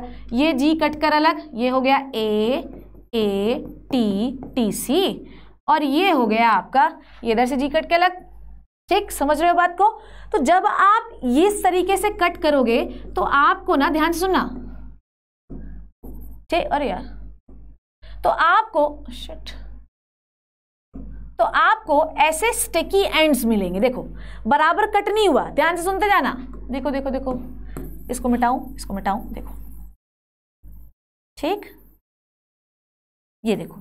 अब आपने इधर से कट लगाया ये पूरा पार्ट कट के अलग हो गया। इधर से कट लगाया ये पूरा बचा, बाकी सब कट के तो ये जो एंड्स आपको दिखाई दे रहे हैं, बेटा, ये जो एंड्स आपको दिखाई दे रहे हैं, इनको हम कहते हैं स्टिकी एंड्स क्या कहते हैं बेटा? स्टिकी एंड्स ये हुआ आपका प्लाज्मिड का स्टिकी एंड्स ऐसे ही आपके डिज़ायर जीन पे स्टिकी एंड होंगे और दोनों लोग आके फंस जाएँगे. Now listen to be very carefully ये मान लो कि आपका प्लाज्मिड है. ध्यान से समझना, इसको समझ में आ जाएगा? और ये है आपका डिज़ायर जीन इसको हमने इको आर वन से काट लिया. क्लियर है? यहाँ पर इको आर वन ने अटैक किया, यहाँ पर इको आर वन ने अटैक किया सेम इधर इको आर वन ने अटैक किया इको आर वन ने अटैक किया। कैसे अटैक किया समझ गए ना? ये ऐसा ये ऐसा। जब आप इको आर वन में यहाँ से अटैक किए तो ये वाला पार्ट कट के पूरा अलग हो गया। ठीक है? यहाँ से ये वाला पार्ट कट के अलग हो गया और यहाँ से ये वाला पार्ट कट के अलग हो गया। अब ये वाला पोर्शन जो खाली है और यहाँ पे ये वाला पोर्शन खाली हुआ तो ये पूरा आके यहाँ पे फंस जाएगा। फिर ये पूरा इधर से आया इधर से आया और इधर आके फंस गया। ये पूरा पार्ट कट के अलग हो जाएगा। ये ये पूरा पार्ट कट के अलग हो गया। ये जगह खाली थी ये पूरा आया और इस पर फंस गया। क्लियर है? और यहाँ से येलो वाला खाली हो गया तो, तो एक ब्लू वाला हम इसको दे ही रहे हैं। तो इस तरीके से आपको एक रिकॉम्बिनेंट डीएनए मिल जाएगा। This is called a sticky ends clear है? और भी इमेजेस हैं इसकी आइए समझते हैं और और होंगे। ना ये देखो। ये हुआ और ये इमेज अगर आपको क्लियर हो रही हो तो ध्यान से सुनो। वही है। यहाँ पर रेस्ट्रिक्शन एंडोन्यूक्लियस जो है देखो ध्यान से। चलो दूसरा बताती हूँ। दूसरा बताती हूँ ठीक है? ल, ल, ल, और देख रही हूँ कि इमेजेस हैं तुम्हारे पास। देखो देखो। स्टिकी एंड्स प्रोड्यूस करने से प्लाज्मिड और होस्ट का डिज़ायर मतलब प्लाज्मिड और डिजायरिन आसानी से जुड़ जाते हैं। सो रेस्ट्रिक्शन एंडोन्यूक्लियस जो होते हैं स्पेसिफिक रिकग्निशन सीक्वेंस पे ही बाइंड करते हैं। इधर उधर कहीं नहीं रखते, ठीक है? और हमेशा जो स्पेसिफिक पॉइंट पे ही कट करते हैं शुगर फॉस्फेट बैकबोन पे कट करते हैं, ठीक है? रिस्ट्रिक्शन एंडोन्यूक्लियस जिस सीक्वेंस को डिसाइड करते हैं, वो होते हैं पेलिंड्रोमिक आपके एनसीआरटी में मलयालम दिया है। अब मलयालम को चाहे यहाँ से पढ़ो, चाहे उधर से पढ़ो, दोनों एक ही होता है। This is called as palindromic sequence Eco one का बताया? G A A T T C G A A T T C clear है? आगे बढ़ें। रेस्ट्रिक्शन एंडोन्यूक्लियस जो है, ये बता दिया मैंने आपको। ये रिपीटेड है। आगे। पेलिंड्रोमिक सीक्वेंस मैंने आपको बता दिया। Now listen to me very carefully देखो। ये जो है जी ए टी टी सी ये इको आर वन का। ये हमेशा जी से ए के बीच में अटैक करता है। ये याद रखिएगा। ठीक है? ये भी बता दिया मैंने आपको। आगे बढ़ते हैं। Next is next is restriction enzyme जो होता है, वो हमेशा पेलिंड्रोमिक सीक्वेंस ये बात आपको ठीक है। और जब भी हमेशा कट लगाने के बाद they produces what sticky ends अब ये आपको बेहतरीन क्लियर होगा। कमान एवरीबॉडी इधर देखो इधर देखो। स्टिकी एंड्स कभी भी आप बराबर बराबर मत काटना, नहीं तो इस प्लाज्मिड को, इस प्लाज्मिड को, इस डिज़ायर जीन से आप जोड़ नहीं पाओगे। Sticky ends is just like that ठीक है? देखो ध्यान से, देखो ध्यान से। ये दो हाथ थे। ठीक है, ये दो हाथ थे। क्लियर मैंने क्या किया कि इस हाथ का ये वाली उंगली हटा दी। ठीक है? ओके ये वाली उंगली हटा दी और इस हाथ के ये तीन उंगली हटा दी। अब बेटा, देखो, फंसाना ज़्यादा आसान हुआ कि नहीं हुआ? अरे यार, ये फंसाना ज़्यादा आसान हुआ कि नहीं हुआ ये? इस वाली उंगली, देखो देखो इधर देखो, हमारे पास ये था। ठीक? हमने इस वाली उंगली, इस वाले हाथ की ये वाली उंगली रहने दी, इसकी ये हटा दी। और इसकी तीनों उंगली रहने दी, इसकी ये हटा दी। अब आपको चीज़ों को फंसाना ज़्यादा आसान होगा। इसके लिए मैंने ये बचा रखा है और इन तीनों के लिए मैंने ये बचा रखा है। दोनों को आसानी से फंसा लोगे। This is called as sticky ends बेटा जी। इसको हम क्या कहते हैं? स्टिकी एंड्स ठीक है? ना वाला डायग्राम ध्यान से देखो। रिस्ट्रिक्शन एंजाइम हमने यहाँ से रिस्ट्रिक्शन एंजाइम से इसको कट किया और इसको कट किया। ठीक? ध्यान से देखना। जब यहाँ से कट लगाओगे तो ये वाला पूरा पार्ट कट के अलग हो जाएगा। ठीक? यहाँ से कट लगाया तो सिर्फ़ एक बेस पेयर ही अलग हुआ। सेम यहाँ से कट लगाओगे तो ये पूरा पार्ट कट के अलग हो जाएगा कट के अलग। ठीक है, यहाँ से कट लगाओगे तो सिर्फ़ एक अलग होगा। ठीक, अलग हो गए। देख लो ना, यहाँ से तुमने कट लगाया था तो सिर्फ़ ग्रीन वाला कट के अलग हुआ। यहाँ से तुमने कट लगाया तो नीचे वाला पूरा अलग हो गया। This is called as sticky ends यहाँ से तुमने कट लगाया तो ये पूरा पार्ट कट के अलग हो गया। ठीक है, और यहाँ से तुमने कट लगाया तो सिर्फ़ एक बेस पेयर वो हुआ। अब तुम सीधे ले जाओ और इसको यहाँ जाके फंसा दो। भैया, तुमने इसको फंसाने के लिए यहाँ जगह खाली कर रखी है और इधर फंसाने के लिए ध्यान सुनो सुनो सुनो यहाँ, देखो देखो देखो देखो, यहाँ पर इसको इस जगह पर पूरी पूरी खाली कर रखी है। यहाँ ले जाओ, लगा दो, कोई दिक्कत, फंस जाएगा आपका डीएनए और यहाँ पर सारे बेस पेयर हैं तो हमने एक बचा रखा है। फिक्सिंग आसान, समझ में आई कैसे कर रहे हो आप? आपने इस जगह पे काटा। Listen to me very carefully ये समझ जाओगे तो सब समझ जाओगे। यहाँ पर तुमने, ये है मान लो हमारा प्लाज्मिड और ये है हमारा डिज़ायर जीन कुछ भी करके इन दोनों को जोड़ना है, ठीक है? किसी को नहीं समझ में आ रहा है तो वो मेरा डिटेल लेक्चर लगा सकता है। मैं उम्मीद कर रही हूँ कि सब पढ़ के आओगे। मेरे पास इतना टाइम नहीं कि वन शॉट में सारी चीज़ें बताऊँ। मैंने यहाँ पर कट लगाया तो ये ग्रीन वाला अलग हो गया। हाँ मैम, समझ में आ गया। ठीक है? यहाँ से मैंने इसको कट लगाया तो ये सारे अलग हो गए। जहाँ से आप कट लगाएँगे, उसके आगे वाला सब चला जाएगा। ठीक है? मान लो कि मैंने यहाँ पे कट लगा दिया, यहाँ पे कट लगा दिया तो इसके आगे वाला चला जाएगा। यहाँ पे कट लगा दिया तो ये पूरा चला जाएगा। आगे वाले सारे चले जाएँगे। ठीक है? ये आगे वाला ग्रीन वाला चला गया, इसके पूरे चले गए। अब देखो, जब ग्रीन वाला चला गया तो यहाँ से ग्रीन वाला हटा दिया, यहाँ से पूरा चला गया तो ऐसा हो गया। This is called a sticky ends इसको हम क्या कहते हैं बच्चों? स्टिकी एंड्स ये पूरा चला गया, आगे वाला सारे चले गए। अब यहाँ पे कट लगाओ। आगे वाले सारे भेज दो, चले गए सारे आगे वाले, कोई टेंशन नहीं। यहाँ पे कट लगाए तो सिर्फ़ येल्लो वाला जाएगा। यहाँ पे कट लगाया तो क्या होगा बेटा जी? सिर्फ़ येल्लो वाला जाएगा येल्लो येल्लो डट्टी फेलो क्लियर है? कोई दिक्कत? अब अगर आपको याद हो तो हमने यहाँ पे कट लगा के सिर्फ़ सबको अलग किया, सिर्फ़ ये वाला छोड़ा। यहाँ पर हमने एक को हटाया तो यहाँ से एक वाला यहाँ आ जाएगा, आ गया। और यहाँ से आपने सारे हटा दिए, पर यहाँ पे आपने सारे बचा लिए तो इधर वाला सारा इधर आ गया। तो अब देखो, कैसे फंसेगा ये। ये एक सीधा एक यहाँ पर आ गया, देखो, ब्लू वाला सीधा यहाँ पे आ गया। ये सारे यहाँ पर आ गए, ये सारे यहाँ पे आ गए। आ गए? तो इस तरीके से आप इसको ले जाकर ऐसा जोड़ देते हैं। क्लियर है? This is called as recombination you have to produce the sticky ends otherwise you can not make the proper bond between the between the plasmid and desire gene this is the plasmid this is the target gene you जैसा cut इधर देखो। जैसा cut तुमने यहाँ पर बनाया है जैसा कट तुमने यहाँ पर बनाया है, आपके प्लाज्मिड में के डिज़ायर जीन में भी वैसा ही कट होना चाहिए, तभी फंसेगा। एकदम कॉम्प्लीमेंट्री कट्स होने चाहिए, और ये जो कट्स होते हैं, इनको हम स्टिकी एंड्स कहते हैं। देखो, कभी भी कट बराबर नहीं होगा, कट हमेशा ऐसा ही होगा। This is called as sticky ends ताकि फंसाने में आसानी हो। ठीक है? और जब भी हम बात करते, देखो देखो ध्यान से, इधर सुनो। जब भी हम बात करते हैं, मान लो ये स्टिकी एंड बनाया रखा है हमने। ठीक है ठीक है ठीक है ठीक है ठीक है। नाउ ये स्टिकी एंड देखो ध्यान से। ये वाला इसमें आके फंस गया, ये पूरा आके इसमें आके फंस गया। तो यहाँ पर सीधे आपको जो है, कोई टेंशन नहीं लेनी है। ये अपने आप फंस जाएगा। शुगर फॉस्फेट बैकबोन बना लेगा, कुछ नहीं। पर दो डीएनए को आखिरी से पॉइंट से, जैसे मान लो ये प्लाज्मिड है और इसमें आपने कोई डिज़ायर जीन घुसाना है तो साइड बाय साइड जोड़ने के लिए आपको एक एंजाइम चाहिए, जिसको आप कहते हैं लाइगेस क्लियर है? आपको ये यहाँ से लाने में, यहाँ फंसाने में कुछ नहीं करना है, पर साइड से जोड़ने के लिए, ध्यान से तो देखो, पर आपको साइड्स जोड़ने के लिए, ये साइड्स को जोड़ने के लिए आपको चाहिए लाइगेस एंजाइम ठीक है? इसको कहते हैं डीएनए लाइगेसिस क्लियर आगे बात करें। नाउ जब हम प्लाज्मिड में कट लगाते हैं, क्लियर है इतनी बात सबको? रेस्ट्रिक्शन एंजाइम एंडोन्यूक्लियस वाले रिकॉम्बिनेंट डीएनए टेक्नोलॉजी में इस्तेमाल होंगे। जब भी हम डीएनए को कट करेंगे ब्लंट एंड्स नहीं लाइएगा। दिस इज़ कॉल्ड ये डीएनए को यहाँ से कट कर दिया। This is called as blunt ends ये होते हैं ब्लंट एंड्स ब्लंट एंड हमको नहीं चाहिए। हमको हमेशा चाहिए कैसे? स्टिकी एंड्स देखो, ऐसा स्टिकी एंड ठीक है? हमको चाहिए स्टिकी एंड ऐसा। अब ये वाला जाके बेटा इसमें फंस जाएगा, ये वाला जाके इसमें फंस जाएगा, दोनों डीएनए ऐसे बन जाएँगे क्लियर तो ये होते हैं आपका ब्लंट एंड्स नहीं चाहिए, हमको स्टिकी एंड्स चाहिए ताकि फंसाना आसान हो। क्लियर है? समझ में आ गई बात? देखो, हमने यहाँ से पूरा डीएनए हटाया इसके से ऊपर वाला हटाया इसको यहाँ जोड़ दिया।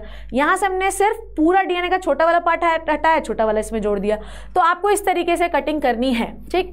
पर मैम कहानी ये है कि अगर हमने प्लाज्मिड को कट कर लिया मैम, अगर हमने प्लाज्मिड को कट कर लिया, ये प्लाज्मिड का एक टुकड़ा पड़ा हुआ है तो हमको कैसे पता चलेगा कि प्लाज्मिड कट गया?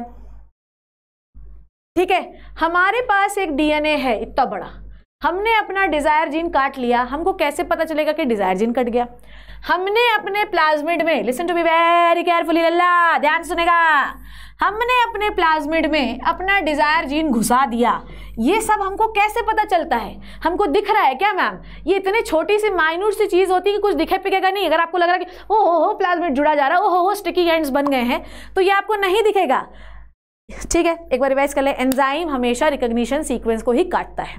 कभी भी ब्लंट एंड नहीं करना है स्टिकी एंड्स ताकि फंसाने में आसान हो। जिस रिस्ट्रिक्शन एंड जिस रिस्ट्रिक्शन एंजाइम से आप डीएनए को काटोगे, उसी से आप प्लाज्मिड को भी काटोगे। क्लियर पर ये जो काट फाट रहे हो, कटा कि नहीं कटा, जुड़ा कि नहीं जुड़ा, ये कैसे पहचानेंगे? ये पहचानते हैं हम जेल इलेक्ट्रोफोरेसिस से। क्लियर है वेरी इंपॉर्टेंट थिंग और ये आपके एग्ज़ाम में आएगी। क्या है जेल इलेक्ट्रोफोरेसिस जेल इलेक्ट्रोफोरेसिस कुछ नहीं है, ये है आपके एग्रोज जेल का बेड एग्रोज जेल जो कि ग्रेसिलेरिया नाम के एक रेड एल्गी से निकाला जाने वाला एलिमेंट है और उसको हम पाउडर के फॉर्म में होता है। इसको हम जो है बफर में डाल के उबालते हैं, थोड़ी देर तक छोड़ देते हैं और वो जो है जम जाता है। अब इसमें क्या होता है? एग्रोज जो जेल होता है, इसमें पोरस जेल है। क्या ये पोरस जेल है? जिसमें डीएनए जो होता है वो ट्रैवल करता है। क्लियर है? डीएनए होता है नेगेटिवली चार्ज डीएनए क्या है बेटा जी? नेगेटिवली चार्ज प्लाज्मिड भी डीएनए का बना है और डिज़ायर जीन भी डीएनए का बना हुआ है। ठीक? अब हमको ये पता लगाना है कि प्लाज्मिड कटा या नहीं। ठीक है? ध्यान ध्यान सुनो। हमको ये पता लगाना है, सबसे पहले हम ये मानते हैं कि हमारे पास एक प्लाज्मिड था मैम, अब हमने इसको काट दिया है। हमको ये पता लगाना है कि ये कटा या नहीं कटा। करो जेलेट्रोफोरेसिस ठीक, मान लो कि इस प्लाज्मिड का साइज़ है 100 बेस पेयर। भैया डीएनए का है तो बेस पेयर होंगे। अब जब हमने उसको काटा तो हमारे पास 20 बेस पेयर का एक आना चाहिए और एक आना चाहिए 80 बेस पेयर का। अब अगर ऐसा आया मतलब कट गया, नहीं आया तो नहीं आया। ये क्या बोल रही हो मैम? थोड़ा बताओ। जेल इलेक्ट्रोफोरेसिस जो है, ये एग्रोस जेल का एक बेड होता है, ठीक है? इसमें छोटे छोटे गड्ढे बनाओ, ठीक है? बनाते हैं हम लोग। उसके, इनको हम कहते हैं वेल्स क्या कहते हैं वेल्स ठीक है? ये जेल को बफर में डुबाओ। जेल जो होता है बफर में डुबा दिया, ठीक है? उसके बाद इसको इलेक्ट्रिसिटी से इलेक्ट्रोड से कनेक्ट करो, ठीक है? इलेक्ट्रोड के एक साइड पे एनोड करो। एनोड पॉजिटिवली चार्ज होता है जो कि एनाइंस को अट्रैक्ट करता है। डीएनए आपका होता है एक साइड कैथोड जो नेगेटिव को अट्रैक्ट करता है एक साइड होता है एनोड जो कैथोड uh, जो होता है वो पॉजिटिव को अट्रैक्ट करता है एनोड जो होता है नेगेटिव को अट्रैक्ट करता है।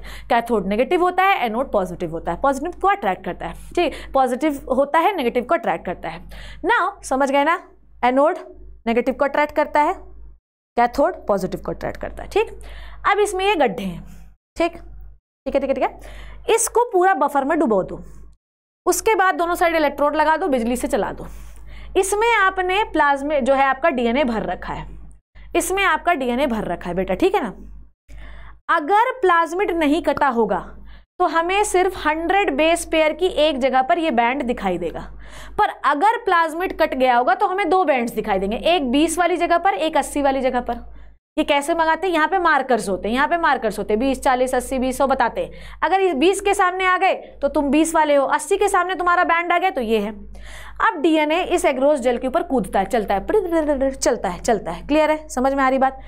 जिस डीएनए का वेट जितना भारी रहेगा वो उतना पीछे रह जाएगा। ठीक है भाई? नेगेटिव चार्ज है तो पॉजिटिव की ओर अट्रैक्ट होता है उधर चला जा रहा, चला जा रहा, चला जा रहा। जिसका वेट जितना हल्का होगा वो हमेशा पीछे की ओर दिखाई देगा। अब आपको देखना है कि आपका प्लाज्मिड जो है, वो कटा या नहीं? तो आपके पास एक 80 वाला होगा बीस वाला।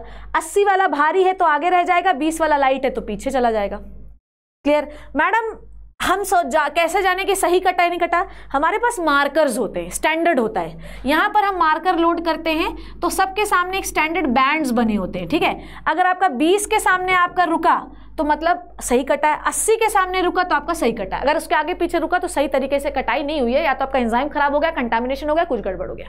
ठीक है? अब ये जो जेल है, ये आप ऐसे नहीं देख सकते। इसमें डाई से स्टेन करना होता है। इथीडियम ब्रोमाइड एनसीईआरटी में सीधे शब्दों में लिखा हुआ है। फिर यूवी रेज में देखो, ये बैंड आपको ऑरेंज कलर के चमकते हुए दिखाई देंगे। तो अगर 80 के सामने रुके मार्कर्स जो है डिजाइंड है, यहाँ पे मार्कर लोड होते हैं। मार्कर स्टैंडर्ड बैंड वाले होते हैं। अस्सी के सामने रुके तो सही कटे हो, नहीं रुके तो नहीं कटे, कुछ गड़बड़ हो गया। क्लियर है? तो इस तरीके से हम पता लगा सकते हैं। क्लियर है क्लियर है क्लियर है क्लियर है। तो डीएनए फ्रेगमेंट जो है सेम चीज़ जो मैंने आपको बताया look at this look at this ये देख रहे हो आपको मैंने मार्कर के बारे में बताया दिस इज़ द मार्कर ये स्टैंडर्ड मार्कर्स होते हैं। ठीक है, ये स्टैंडर्ड मार्कर्स होते हैं कि हमको ये पता लगाते हैं कि भैया हमने सही काम किया या नहीं है। ये मार्कर है मार्कर अब मान लो, जो जितना भारी होगा डीएनए वो उतना आगे होगा। जो जितना लाइटर होगा, वो उतना पीछे होगा। ठीक है? ये वाला जो डीएनए है, ये मान लो यहाँ से ऐसे गिनते बेटा, ऐसे गिनते हैं। सौ, दो सौ, तीन सौ, चार सौ, पाँच सौ छः सौ, सात सौ, आठ सौ, नीचे से ऊपर की ओर। अब मान लो कि हमारा डीएनए जो था प्लाज्मिड का एक साइज़ है हज़ार, एक है पाँच सौ। पाँच सौ के सामने सारे रुके हुए हैं। ये देखो 500 के सामने। और हज़ार के सामने सारे रुके हुए हैं मतलब आपका प्लाज्मिड सही तरीके से कटा है। ठीक है? तो ये मार्कर है स्टैंडर्ड है, और इसके सामने आपके सैंपल्स रुकने चाहिए। और इसको हम देखते कैसे हैं? ये यूवी जो है आपका यूवी का यूवी रेस का मशीन होता है, ठीक है? और इसके अंदर हम लोग जो है, देखते हैं अपना। ठीक? नाउ ओके तो जो कॉमनली हम क्या यूज़ करते हैं? एग्रोज यूज़ करते हैं बेटा जी। क्या यूज़ करते हैं बोलो? हम यूज़ करते हैं एग्रोज अरे यार, हम क्या यूज़ करते हैं बेटा जी? एग्रोज ठीक है? एग्रोज ओके जो कि सी वीड्स एलगी से निकाला जाता है। आगे बढ़े। ना डीएनए फ्रेगमेंट्स जो होते हैं, वो साइज़ के अकॉर्डिंग होते हैं। बड़ा, आगे, छोटा, पीछे। क्लियर है? आगे बढ़े। और उसके बाद हम उसे देखते हैं आपकी यूवी रेडिएशन में। क्लियर है? तो यू, जो आपका वो होता है ना, जो एग्रोज जेल होता है, ये पोरस होता है बेटा। कैसा होता है? पोरस होता है।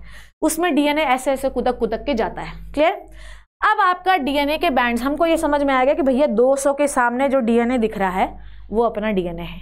उस डीएनए को निकालना है। तो डीएनए को जो है ऑरेंज कलर के बैंड दिखते हैं यूवी रेडिएशन के अंदर, क्योंकि हम जेल को स्टेन करते हैं थीडियम ब्रोमाइड से। एनसीईआरटी की लाइंस हैं, ये आपको एक एक लाइन एक एक शब्द एक एक अक्षर पता होना चाहिए। ठीक है, उसके बाद अपन ने उसको स्टेन कर लिया। उसके बाद उसके बाद हम लोगों ने उस जगह को मार्क कर लिया, ये है हमारा डीएनए ठीक? उस डीएनए को हमने स्क्रेप करके बाहर निकाल लिया। इस प्रोसेस को हम कहते हैं इल्यूजन क्या कहते हैं इल्यूजन कट द डीएनए जहाँ पर आपका जेल में जहाँ पे डीएनए दिखाई दे रहा है। इस प्रोसेस को हम कहते हैं इल्यूजन ठीक है? समझ में आ गई बात? और अब आपका डीएनए जो है, वो रेडी है कहाँ पर जाने के लिए? प्लाज्मिड में जाने के लिए। पर यहाँ पर अभी आपका इतना डीएनए है क्या? यहाँ पर अभी आपका इतना डीएनए है क्या? नहीं। तो डीएनए को थोड़ा सा एम्पलीफाई कर लो by the PCR polymerase chain reaction clear है? सो डीएनए इज़ रेडी ठीक है? डीएनए इज़ रेडी क्लियर है? डन है. उसके बाद आप जो है डीएनए को निकालो डीएनए को स्टोर कर लो और फिर अपना प्लाज्मिड लाओ, ठीक है? सब कुछ मतलब आपका जो डिज़ायर जीन है, वो भी आप इलेक्ट्रोफोरेसिस से पता लगा सकते हो कि सही कटा है या नहीं कटा है। प्लाज्मिड भी पता लगा सकते हो सही कटा है या नहीं कटा है, दोनों पता चल गए, सही कट गए हैं, ठीक है? अब इन दोनों को मिक्स कर दो। ठीक है? प्लाज्मिड आपका वेक्टर है डिज़ायर जीन आपका डिज़ायर जीन है, जिसकी मल्टीपल कॉपीज बनानी है। पर कैसा एंड चाहिए है? स्टिकी एंड्स चाहिए ब्लंट एंड नहीं, ऐसा ऐसा नहीं कर देना रे। हमेशा sticky ends this is the sticky ends बेटा this is the sticky ends ये होते हैं स्टिकी एंड्स ठीक है? तभी फंसेगा, ओके? और उसके बाद ज्वाइनिंग करेंगे। ज्वाइन करने के बाद वेट बढ़ जाएगा, फिर जेलेट्रोफोडिस करो। वेट बढ़ेगा तो आपको समझ में आ जाएगा, भैया डिज़ायर जीन का मान लो बीस बेस पेयर साइज़ था। कटे हुए प्लाज्मिड का 80 था। दोनों को जोड़कर 100 बेस पेयर बनना चाहिए था। 100 बेस पेयर के सामने सारे बैंड्स आए मतलब आपका रिकॉम्बिनेशन हो गया है। तो जेल इलेक्ट्रोफोरेसिस इज़ द बेहतरीन बेहतरीन बेहतरीन बेहतरीन बेहतरीन टेक्निक जिससे हम ये चीज़ें पता लगा सकते हैं। ठीक? अब आते हैं वेक्टर्स के बारे में। क्या वेक्टर्स सिर्फ़ और सिर्फ़ प्लाज्मिड हो सकते हैं? किसी को भी वेक्टर हम बना सकते हैं क्या? किसी हर प्लाज्मिड को क्या हम वेक्टर बना सकते हैं? आइए ना उसके बारे में बात करते हैं। चलो, चलिए, अब आपको एक और चीज़ बता देती हूँ। देखो वेक्टर्स जो होते हैं दे आर प्लाज्मिड्स ठीक है? पर हर प्रकार के प्लाज्मिड को हम क्लोन करने के लिए इस्तेमाल नहीं कर सकते। तो क्लोनिंग वेक्टर्स क्या होते हैं, उनकी क्या प्रॉपर्टीज़ होनी चाहिए, उसके बारे में जानते हैं। क्लियर है? प्लाज्मिड को कट किया डिज़ायर जीन को निकाला। प्लाज्मिड में स्पेसिफिक सीक्वेंस पे कट किया by restriction enzyme same specific sequence पे डिज़ायर जीन पे कट किया। ऐसे एंड्स बनाए जो कि चिपक जाए आसानी से। This is called sticky ends ठीक है? कौन से सीक्वेंस पे कट करते बेटा? जी पेलेंड्रोमिक सीक्वेंस पे, जो कि इधर से पढ़िएगा five dash two three dash end same इधर से पढ़िएगा five dash two three dash end बिल्कुल सेम मक्खन मलाई। ठीक है? चलिए तो वेक्टर्स क्या होते हैं जो डीएनए को कैरी करे इनटू द होस्ट सेल ठीक है? अब आपका जो वेक्टर्स होते हैं वो अलग अलग प्रकार के हो सकते हैं, जैसे कि plasmid extra chromosomal circular double standard self replicating plasmid bacteriophages जो होते हैं, ये भी हो सकते हैं, जो कि वायरसेस जो होते हैं, जो कि बैक्टीरिया को इन्फेक्ट करते हैं, इनके थ्रू भी आप अपना डीएनए बैक्टीरिया में घुसा सकते हैं। ठीक है, अगला नेक्स्ट ध्यान से समझना। हर एक वेक्टर पे, हर एक वेक्टर पे, ठीक, जहाँ पर, जहाँ से रेप्लिकेशन स्टार्ट होता है उसको हम कहते हैं ओ आर आई हर एक वेक्टर पे जहाँ से रेप्लिकेशन स्टार्ट होता है, उसको हम कहते हैं O R I O R I is called as origin of replication O R I को हम क्या कहते हैं बेटा जी? It is called as origin of replication clear it is called as origin of replication यहाँ से आप कट करिए, ठीक? और यहीं से रेप्लिकेशन स्टार्ट होगा। क्लियर है? नाउ अब एक और बात बताती हूँ। हर एक वेक्टर के अंदर हाई कॉपी नंबर बनाने की प्रॉपर्टी होनी चाहिए। It is defined as number of copies of the vector present in a cell ठीक है? तो हर जो है कॉपी नंबर कितना कॉपी नंबर तुम्हारा? कितना कॉपी नंबर बना सकते हो? सो नंबर ऑफ़ वेक्टर्स और plasmid present into the cell clear है? तो बेस्ट नोन वैक्टर कौन सा है? आपका प्लाज्मिड क्लियर तो ओरिजिन ऑफ़ रेप्लीकेशन जहाँ से रेप्लीकेशन स्टार्ट होगा क्लियर जहाँ से कट करना है, उसको हम कहते हैं रिकोगशन सीक्वेंस आज हम बात करने वाले हैं सबसे पहले plasmid is the best vector ठीक है? प्लाज्मिड सबसे अच्छा वैक्टर होता है। आज हम एक मैन मेड प्लाज्मिड के बारे में बात करने वाले हैं, जिसका नाम है P B R three two two P B R क्यों कहते हैं? क्योंकि P B R three two white is called as P B R three two two क्योंकि बी आर का मतलब होता है Bolivar and Rodriguez nineteen seventy six में इसको ई e. से जो है E coli plasmid from E coli plasmid ठीक है? इसमें e, ये मैनमेड क्यों है क्योंकि इस प्लाज्मिड को हमने निकाल के थोड़ा सा इसको मॉडिफाई किया। क्लियर है? P B R three two two पहला आर्टिफिशियल ये लिखा हुआ आपने? हमने प्लाज्मिड इकोलाई से निकाला पर इसको थोड़ा सा हमने क्या किया? थोड़ा मॉडिफाई किया काट छाट लिए।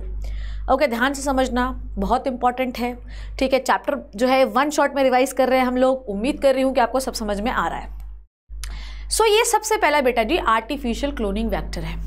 मतलब हम लोगों ने किया ये है कि इसको बॉलीवर एंड रॉड्रिक्स ने 1976 में बनाया ठीक? अब इसमें क्या फीचर है वो ध्यान से समझिएगा। आइए ध्यान से समझते हैं। सो so, ये देखो देखो देखो देखो देखो देखो ध्यान से सुनो।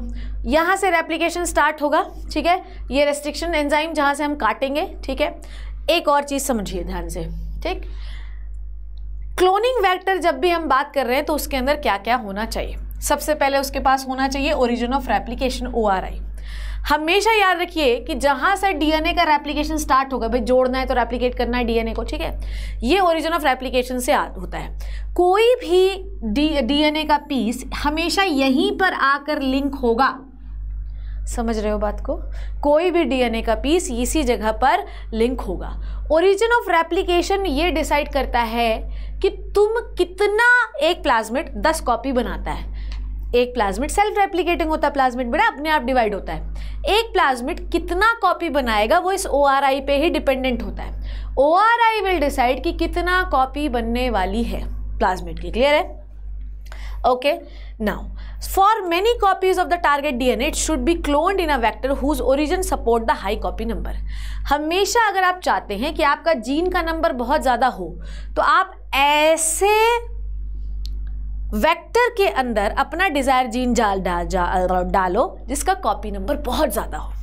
मतलब वो इतना जल्दी जल्दी जल्दी जल्दी डिवाइड करता हो जिसकी कोई लिमिट नहीं।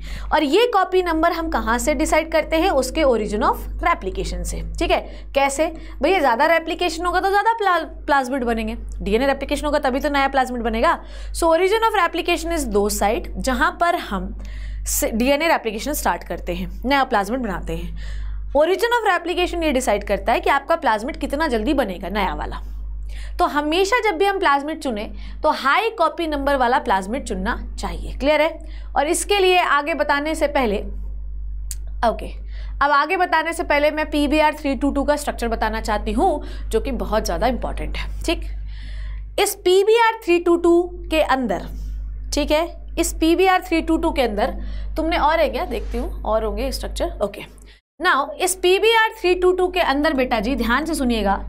आपके पास दो एंटीबायोटिक रेजिस्टेंट साइट हैं। ये देखो, इस P B R three two two के अंदर दो एंटीबायोटिक रेजिस्टेंट साइट है बेटा। एक है ये वाली, ओ ओ ओ ओ, ठीक है? देख लो, यहाँ देख लो। इस P B R three two two के अंदर दो एंटीबायोटिक रेजिस्टेंट साइट है, एक तो ये वाली, पर्पल कलर की जो दिख रही, एक ये वाली। जो ये दिख रही है, ये है एम्पीसिलिन रेजिस्टेंट देखो प्लाज्मिड है। मैंने आपको क्या बोला? कभी कभी बैक्टीरिया के अंदर listen to me very carefully बच्चों कभी कभी बैक्टीरिया के अंदर, इस प्लाज्मिड के अंदर कुछ ऐसे रेजिस्टेंट जीन आ जाते हैं, जिसपे पर्टिकुलर एंटी मान लो इसके पास जो है टेट्रासाइक्लिन का रेजिस्टेंट जीन आ गया, अपने आप एनवायरमेंट से चेंज कर लिया प्लाज्मिड ने अपने आप को। तो अब कितना भी टेट्रासाइक्लिन इस पर डालते जाओ, इसको जो है बिल्कुल भी फ़र्क नहीं पड़ेगा, मरेगी नहीं। बाढ़ में जाओ तुम, ठीक?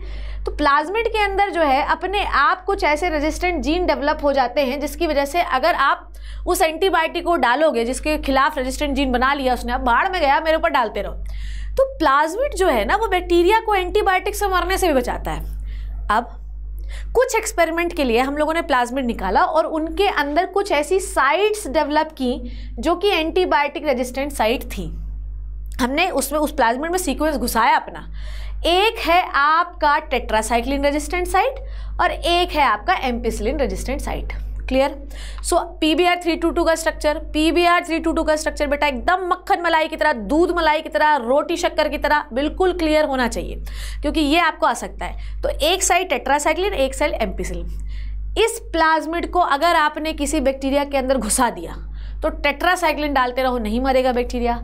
एम्पीसिलिन डाल दो, नहीं मरेगा बैक्टीरिया, क्योंकि तुमने रेजिस्टेंट जीन डाल दिया ना उसके। अंदर। आप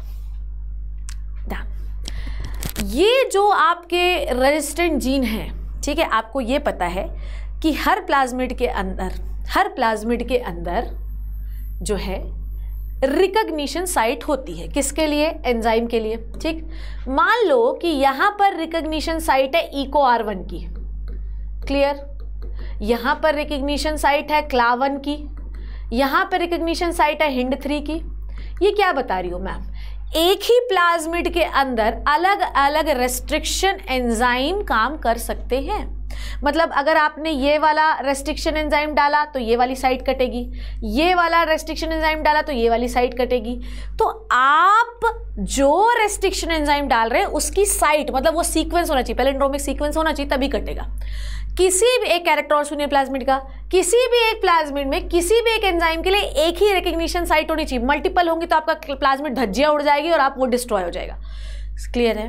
एक ही प्लाज्मिड में अलग अलग एंजाइम्स की रिकग्निशन साइट हो सकती हैं। यहाँ से भी कट सकता है यहाँ से भी कट सकता है यहाँ से भी कट सकता है। पर एक ही प्लाज्मिड में एक ही एंजाइम के मल्टीपल रिकग्निशन साइट नहीं होना चाहिए नहीं तो हर जगह से काट देगा। तो आपके पास तो डिज़ायर जीन एक ही है ना तो जोड़ना तो एक ही जगह आपको। क्लियर है? सो so, अगर आप P B R three two two का आप देख रहे हो तो टेट्रासाइक्लिन के पास दो एंजाइम की रिकग्निशन साइट है दिस इज़ बमसल ठीक है? बैम्बू और साल का पेड़, ठीक है? बैम्बू साल, ठीक है? बैम्बू साल, ठीक है? बी बाम एच वन और साल वन, ठीक है? टेट्रासाइक्लिन के पास बाल, बैम्बू और साल के ट्रीज हैं। बैम्बू एच वन और साल एच वन क्लियर ठीक? अब एम्पीसिलिन के पास दो रिकग्निशन साइट है पी वी यू और पी वी एस टी ठीक? P S T P V U और पी एस टी ठीक बाम साल किसके पास है? टेट्रासाइक्लिन के पास P V U P S T किसके पास है? आपके एम्पीसिलिन के पास। सब में जो है वन वन लिखा है, कहीं टू नहीं आया। क्लियर? अब आप ध्यान से, ध्यान ध्यान ध्यान ध्यान से देखिए। पी वी यू के डायगनल जाइए, ऐसा। ये। ठीक? ओके? यहाँ पर अगर आप जाएँगे तो पी वी यू टू दिखेगा। डायगनल जाइएगा तो पी वी यू टू दिखेगा। ये भी एक रिकग्निशन साइट हो गई इस एंजाइम की। ऊपर जाइए इको क्ला हिंड इको आर वन होता है क्ला वन होता है हिंड थ्री होता है। तो थ्री आपके पास सिर्फ़ एक है, वो है। एक बार देखते हैं। टेट्रासाइक्लिन रट लीजिए रट लीजिए। मेरे साथ आइए, ज़ोर से बोलिए, जय माता दी। आपके इस प्लाज्मिड के अंदर दो एंटीबायोटिक रेजिस्टेंट जीन है।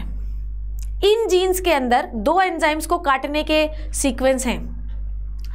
टेट्रासाइक्लिन के पास है बामसल, बाम एच वन और साल वन फिर एम्पिसिलिन के पास P V one, P V U one और P S T one. P V उनके डायगोनल पे है पी वी यू टू और ऊपर साइड की one Eco Cla Hind.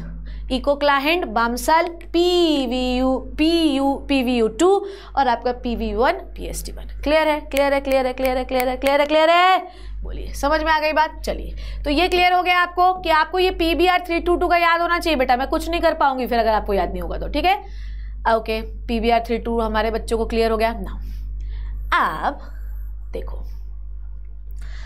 मेरा डीएनए मेरा डीएनए प्लाज्मिड के अंदर पहुँचा या नहीं पहुँचा? ठीक? ये मैं कैसे जानूँगी? इसके लिए इस प्लाज्मिड में कुछ ऐसी जगहें होती हैं जिसको हम कहते हैं सिलेक्टेबल मार्कर्स समझ गए? मेरा डिज़ायर जीन इस कमबख्त, चंडाल, पापी प्लाज्मिड के अंदर पहुँचा या नहीं पहुँचा, ये मैं कैसे जानूँगी? ये मैं जानूँगी by the presence of selectable markers ठीक है? और यही सिलेक्टेबल मार्कर हैं आपके एंटीबायोटिक रेजिस्टेंट जीन ये ये मार्कर्स हैं एंटीबायोटिक रेजिस्टेंट जीन ये आपको बताते हैं कि आपका ट्रांसफॉर्मेशन हुआ है या नहीं हुआ है. क्लियर है? तो ये जो सिलेक्टेबल मार्कर जो आपके प्लाज्मिड में है, ये क्या करते हैं? ये हमको ये बताते हैं कि आपके होस्ट सेल के अंदर रिकॉम्बिनेंट वाला प्लाज्मिड आया है या घटिया वाला आया है या आया ही नहीं है? भाई, दो कंडीशन हो सकती हैं। ध्यान से समझिएगा, क्या बोल रही हूँ मैं? ये है बेटा जी मेरी होस्ट सेल ठीक है, बोलो। ये है बेटा जी मेरी होस्ट सेल ठीक? और ये है मेरा एक रिकॉम्बिनेंट प्लाज्मिड ठीक है, ये है बेटा जी मेरा एक रिकॉम्बिनेंट प्लाज्मिड क्लियर रिकॉम्बिनेंट हो सकता है, ना हुआ हो। ठीक है? तो ये है आपका रिकॉम आरपी लिख दूँ रिकॉम्बिनेंट प्लाज्मिड ये इसको मैं एनआरपी लिख दूँ नॉन रिकॉम्बिनेंट प्लाज्मिड ठीक? जब हमने इसको पहुँचाया तो तीन कंडीशन हो सकती हैं। तीन कंडीशन आपके पास हो सकती हैं। तीन होस्ट सेल बना लीजिए। तीन होस्ट सेल बना लीजिए। ध्यान समझिए। हो सकता है कि आपके पास, लल्ला, मेरे रन्ने मुन्नो, ध्यान सुनो। हो सकता है कि आपके पास नॉन रिकॉम्बिनेंट प्लाज्मिड पहुँच गया हो। मतलब भैया, ऐसा है कि रिकॉम्बिनेशन अपन करने गए, पर प्लाज्मिड बोला भाड़ में जा, मुझे तेरा डिज़ायर जी नहीं लेना है, मैं अपने आप ऐसे ही जुड़ जाऊँगा। कटा, फिर अपने आप जुड़ गया। उसके पास नॉन रिकॉम्बिनेंट प्लाज्मिड पहुँच गया। दूसरे के पास, बेटा जी, कैसा प्लाज्मिड पहुँच गया? दूसरे के पास कैसा प्लाज्मिड पहुँच गया? दूसरे के पास रिकॉम्बिनेंट प्लाज्मिड पहुँच गया। रिकॉम्बिनेंट प्लाज्मिड पहुँच गया। और तीसरे के पास कुछ नहीं पहुँचा। नहीं पहुँचा। क्लियर ठीक। अब ये दोनों बेटा जी, ध्यान से सुनिए, ध्यान से सुनिए, ध्यान से सुनिए, ध्यान सुनिए। ठीक है, एक मेरे को प्लेन पेज ले ही लेती हूँ, क्योंकि अभी मुझे बहुत सारी ज़रूरत पड़ेगी। ओके देखो। एक मैं प्लेन पेज ले ही लेती हूँ।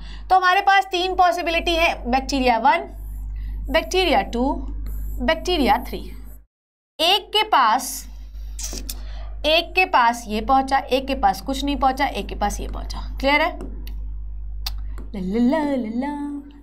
ठीक। ये जो है, ध्यान सुनिए। देखिए, ये जो है, ये है ट्रांसफॉर्मेंट ये है बेटा जी, क्या आपके पास? दिस इज़ द ट्रांसफॉर्मेंट ये है आपका ट्रांसफॉर्मेंट ये भी आपका ट्रांसफॉर्मेंट है। ट्रांसफॉर्मेंट ये आपका नॉन ट्रांसफॉर्मेंट है। ये क्या बोल रही हो मैम? हमें कुछ समझ में नहीं आ रहा है। बेटा, अब आ जाओ पीछे पूरा। थोड़ा सा मुझे पीछे जाना पड़ेगा। बहुत सारा पढ़ा भी दिया आपको। थोड़ा सा पीछे आ जाइए। अरे यार बहुत पीछे आना पड़ेगा। आ, ओ कितना सारा पढ़ा दिया शिप्रा आपने। देखो तुम्हें। नालायको देखो। ओहो ओके। याद हो प्लाज्मिड को अगर आप रिकॉम्बिनेंट प्लाज्मिड को होस्ट सेल के अंदर भेजते हैं तो उसको ट्रांसफॉर्मेशन कहते हैं। अब अगर आपका नॉन रिकॉम्बिनेंट वाला भी पहुँच गया तो प्लाज्मिड तो पहुँचा ना यार। चाहे रिकॉम्बिनेंट वाला पहुँचा हो, चाहे नॉन रिकॉम्बिनेंट वाला पहुँचा हो, कैसा भी पहुँचा हो, प्लाज्मिड पहुँच गया ना। तो इसको हम क्या कहते हैं बेटा जी? इसे हम ट्रांसफॉर्मेंट ही कहते हैं। इसे हम क्या कहते हैं? This is called as transformant चाहे रिकॉम्बिनेंट वाला पहुँचा हो, चाहे नॉन रिकॉम्बिनेंट वाला पहुँचा हो। पर ये कैसा ट्रांसफॉर्मेंट है इसके वाला? ये है रिकॉम्बिनेंट ट्रांसफॉर्मेंट ठीक है, ये कैसा है? रिकॉम्बिनेंट ट्रांसफॉर्मेंट ठीक है, ये है नॉन रिकॉम्बिनेंट ट्रांसफॉर्मेंट ये है नॉन रिकॉम्बिनेंट ट्रांसफॉर्मेंट और ये है नॉन ट्रांसफॉर्मेंट इसके पास कुछ नहीं पहुँचा है। समझ गए? बोलो, हमें कौन सा चाहिए? हमें ये वाला चाहिए। ठीक? तो आपके प्लाज्मिड में जो सिलेक्टेबल मार्कर्स होते हैं, ठीक है, जो सिलेक्टेबल मार्कर्स होते हैं एक्चुअली एंटीबायोटिक रेजिस्टेंट साइट है। इनके आधार पर मैं ट्रांसफॉर्मेंट से नॉन ट्रांसफॉर्मेंट को अलग कर सकती हूँ।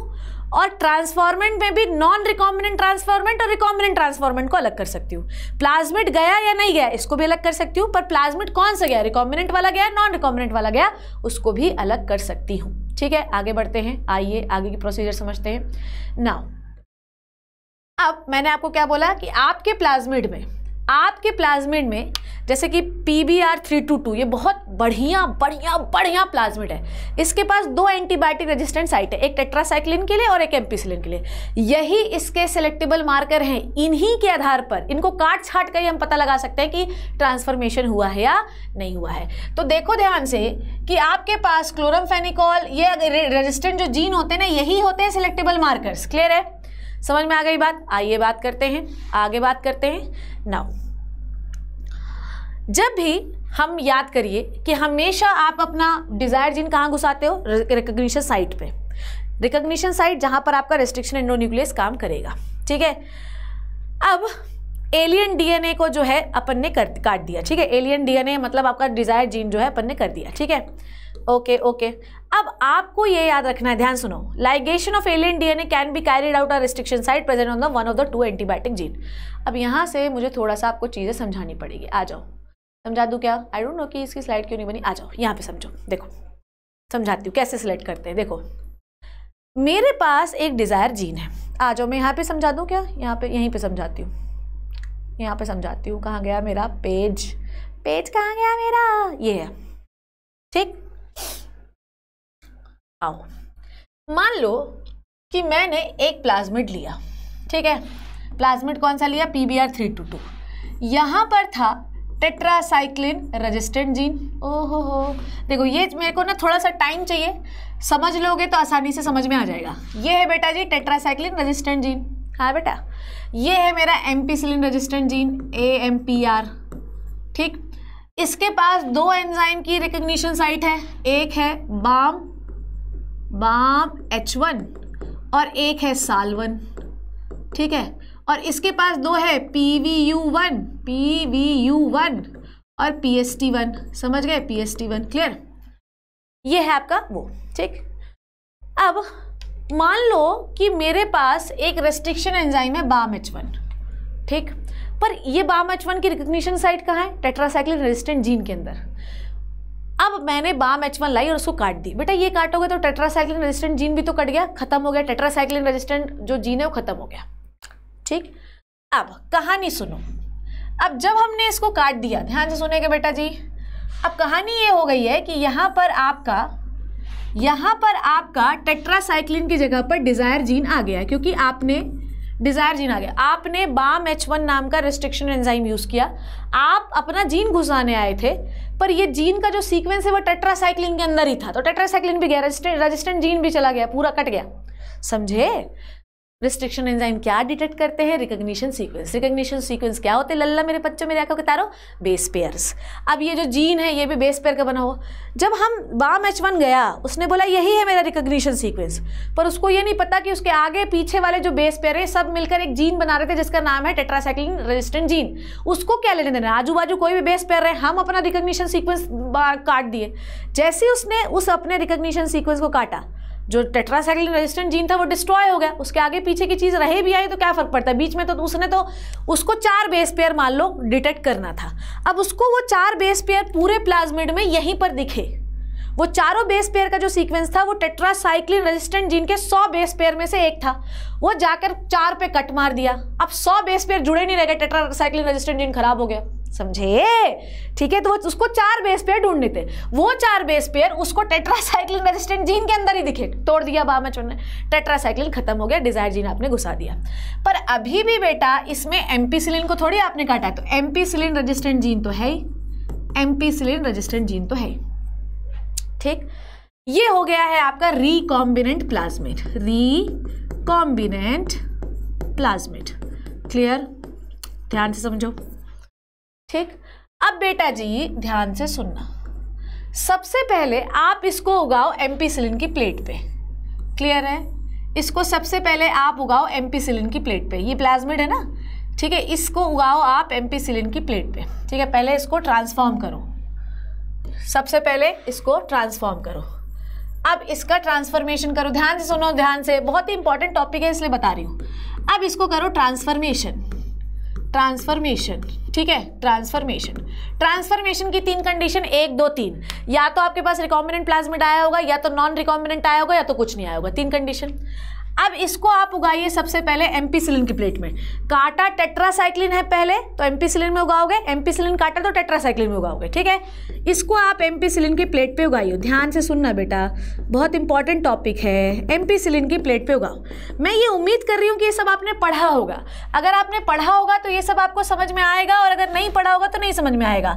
तो अगर कैसे समझे मैम? मेरे यूट्यूब पर, बराबर लेक्चर पड़े हुए हैं, आप जाके उनको देख सकते हैं, ठीक है? ये हो गया एम्पीसिलिन की प्लेट अगर अगर टेट्रासाइक्लिन को काटा है एमपी सिलिन तो एमपी सिलिन में उगाओ। एमपी सिलिन को काटा टेट्रासाइक्लिन में उगाओ। अब बताओ मुझे क्या क्या उगेगा। देखो, इसमें आपकी दो चीज़ें उगेंगी। ध्यान सुनना। इसमें आपकी दो चीज़ें उगेंगी। क्या क्या दो चीज़ें उगेंगी? इसमें रिकॉम्बिनेंट प्लाज्मिड भी उगेगा और नॉन रिकॉम्बिनेंट प्लाज्मिड भी उगेगा। नॉन रिकॉम्बिनेंट क्यों उगेगा? क्योंकि बेटा जी नॉन रिकॉम्बिनेंट में भी तो एम्पीसिलिन है, रेजिस्टेंट जीन। और इसमें भी एम्पिसिलिन रेजिस्टेंट जीन है एम्पिसिलिन रेजिस्टेंट जीन है ना ना ना ना ना ना ना ना ना ना ना ना ना ना ना ठीक है ठीक है ठीक है ठीक है इरेजर इरेजर इरेजर इरेजर ठीक है ठीक आ जाओ चलिए तो इसमें बेटा जी आपको तीन प्रकार की चीज़ें दिखेंगी। क्या क्या दिखेंगी? ये एम्पीसिलिन है। तो बेटा, जिसके पास भी एम्पीसिलिन रेजिस्टेंट जीन होगा, वो सब इसमें ग्रो होगा। तो नॉन रिकॉम्बिनेंट जिसके पास पहुँचा प्लाज्मिड उसके पास भी एम्पीसिलिन रेजिस्टेंट जीन था। हाँ मैम रिकॉम्बिनेंट वाले के पास भी एम्पीसिलिन रेजिस्टेंट जीन था। हाँ मैम तो यहाँ पर आपको दो चीज़ें दिखाई देंगी। एक दिखाई देगा आपको non recombinant transformant non recombinant transformant T लिख दे रही हूँ। और यहाँ पर आपको रिकॉम्बिनेंट ट्रांसफॉर्मेंट भी दिखाई देगा। दोनों ग्रो होंगे। तो मैम, आप इसमें रिकॉम्बिनेंट ट्रांसफॉर्मेंट अलग, इसमें क्या नहीं दिखाई देगा? इसमें आपको ये थर्ड वाली नहीं दिखाई देगी। इसमें बेटा जी, आपको थर्ड वाली नहीं दिखाई देगी। इसमें ये नॉन ट्रांसफॉर्मेंट कभी भी ग्रो ही नहीं हो पाएगी। नॉन ट्रांसफॉर्मेंट ये ग्रो नहीं होगी। ग्रोथ नहीं। क्यों नहीं? क्योंकि ये कभी ग्रो कैसे होगी? इसके पास तो रेजिस्टेंट जीन ही नहीं है। जैसे ये ग्रो होने जाएगी एम्पिसिलिन उसको मार डालेगा। ये दोनों ग्रो हो सकती हैं। ये वाली बैक्टीरिया वन और बैक्टीरिया टू ये दोनों ग्रो हो सकती हैं। क्योंकि इनके पास रेजिस्टेंट जीन था तो ये दोनों ग्रो हो गई। तो हम जब एम्पीसिलिन में प्लेट किए तो हम क्या अलग कर पाए? हम ट्रांसफॉर्मेंट को नॉन ट्रांसफॉर्मेंट से अलग कर पाए। समझ गए? नॉन ट्रांसफॉर्मेंट में एम्पीसिलिन रेजिस्टेंट जीन नहीं था, इसलिए वो मर गई एम्पीसिलिन में। दोनों के पास ट्रांसफॉर्मेंट्स में, जिनके पास प्लाज्मिड था, चाहे वो डिज़ायर जीन लिया हुआ नहीं हो एम्पीसिलिन थोड़ी खराब हुआ है। एम्पीसिलिन के एम्पीसिलिन रेजिस्टेंट जीन होने की वजह से इन दोनों के पास ये दोनों ग्रो कर गए। अब बेटा इस प्लेट को दूसरे मीडियम में ट्रांसफ़र करो, जिसके पास है टेट्रासाइक्लिन, ठीक है? जिसके पास है अब टेट्रासाइक्लिन। अब एम्पीसिलिन नहीं है बेटा जी। अब क्या लल्ला? अब है टेट्रासाइक्लिन, ठीक है? Now we have what we have tetracycline हमारे पास क्या है? टेट्रासाइक्लिन। क्लियर है? टेट्रासाइक्लिन। अब इस प्लेट को ले जाओ छप्प से चिपका दो। This is called as replica plate ठीक है? एनसीआरटी पढ़ा करो ढंग से। This is called as replica plate अब बेटा ध्यान से ध्यान से ध्यान से ध्यान से इधर देखो। टेट्रासाइक्लिन जब इसमें डालोगे तो क्या नहीं ग्रो होगा। मैडम, जब आप इस पर अपना डिज़ायर जीन घुसा रही थी तो टेट्रासाइक्लिन जीन रेजिस्टेंट जीन यहाँ पे खराब हो गया था। पर नॉन ट्रांसफॉर्मेंट में अभी भी टेट्रासाइक्लिन जीन खराब नहीं हुआ है। तो नॉन नॉन ट्रांसफॉर्मेंट बोल रही हूँ, आपका जो नॉन रिकॉम्बिनेंट ट्रांसफॉर्मेंट है, इसमें टेट्रासाइक्लिन जीन है। पर रिकॉम्बिनेंट ट्रांसफॉर्मेंट के पास टेट्रासाइक्लिन जीन नहीं है, क्योंकि उसी को काट के तो अपना डिज़ायर जीन अपन ने घुसाया था। तो अब यहाँ पर, अब आपका ग्रो हो जाएगा, क्या बोलो? यहाँ पर आपका नॉन रिकॉम्बिनेंट ट्रांसफॉर्मेंट ग्रो हो जाएगा। क्योंकि इसमें टेट्रासाइक्लिन जीन था, उसको टेट्रासाइक्लिन नहीं मार पाएगा। रेजिस्टेंट जीन है, वो मरेगा नहीं, कितना भी टेट्रासाइक्लिन डालो। तो नॉन रिकॉम्बिनेंट ट्रांसफॉर्मेंट इसमें ग्रो हो गया। और क्या नहीं ग्रो हो पाया? रिकॉम्बिनेंट नहीं ग्रो हो पाया।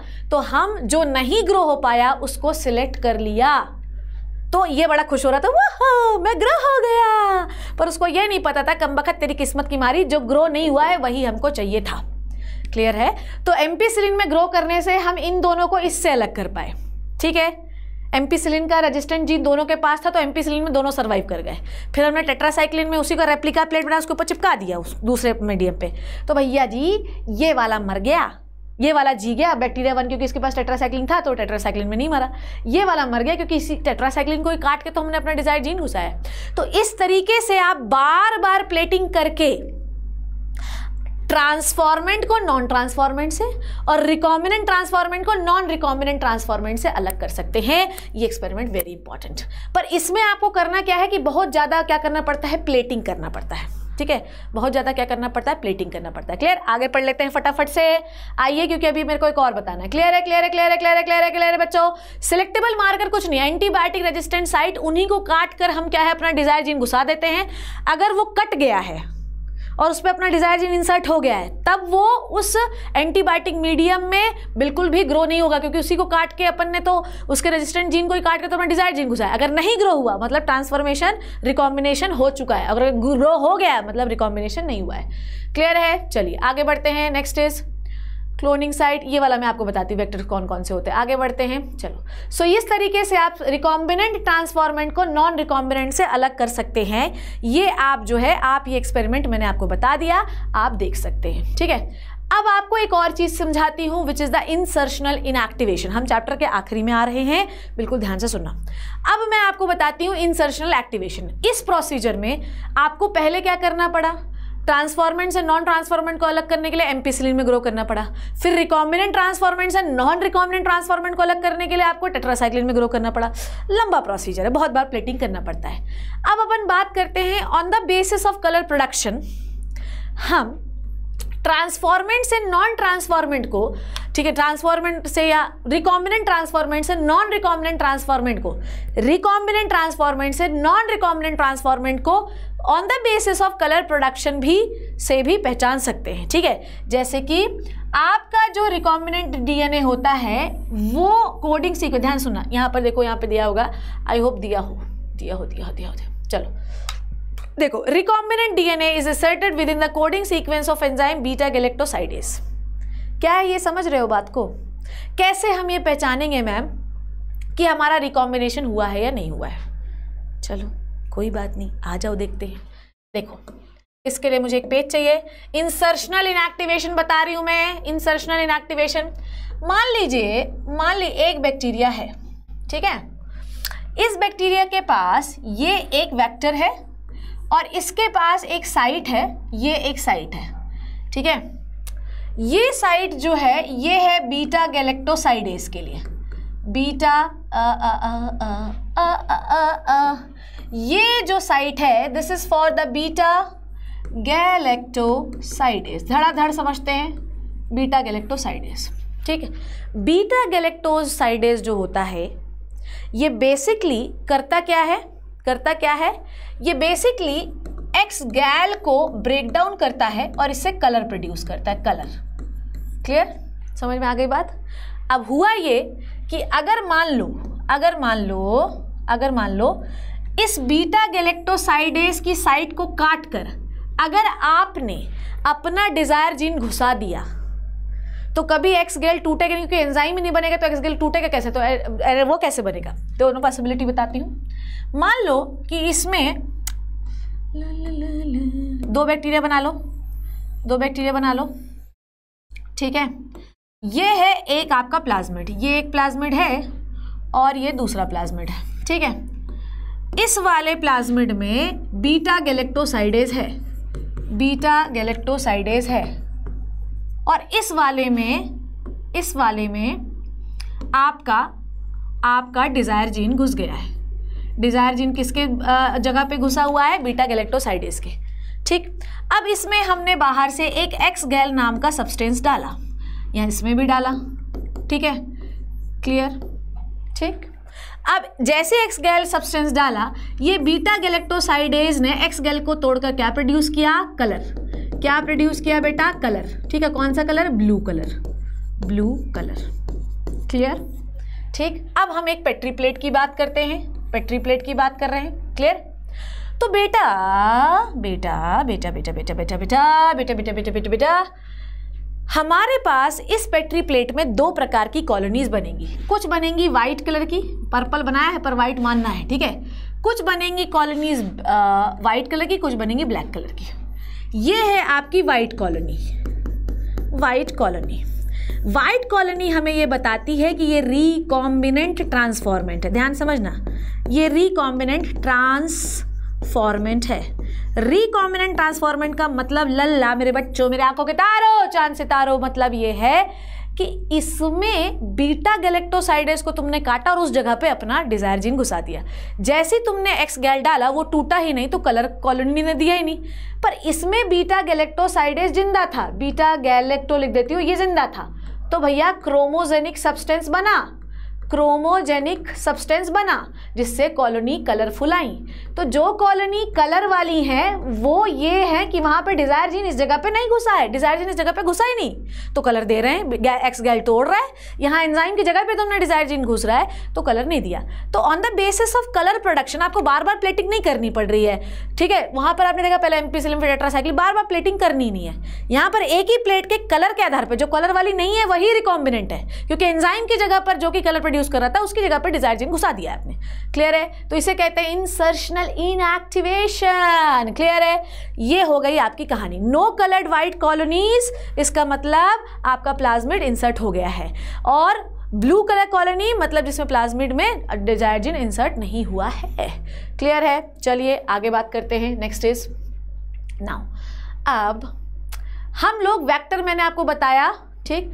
प्लांट के लिए हम वेक्टर इस्तेमाल करते हैं एक प्लाज्मिड जिसका नाम है टीआई प्लाज्मिड ठीक है?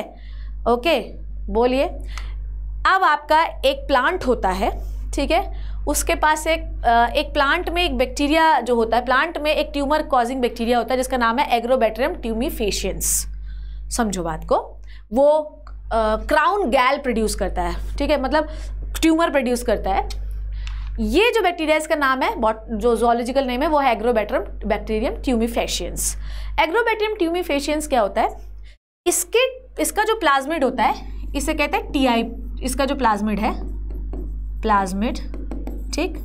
इसमें एक जीन होता है जिसको कहते हैं टीआई जीन क्या कहते हैं? टीआई जीन ये जो टीआई जीन होता है, लल्ला, मेरे बच्चों, ये होता है ट्यूमर इंड्यूसिंग जीन कैसा होता है बच्चों? ट्यूमर इंड्यूसिंग जीन ये क्या करता है? ठीक?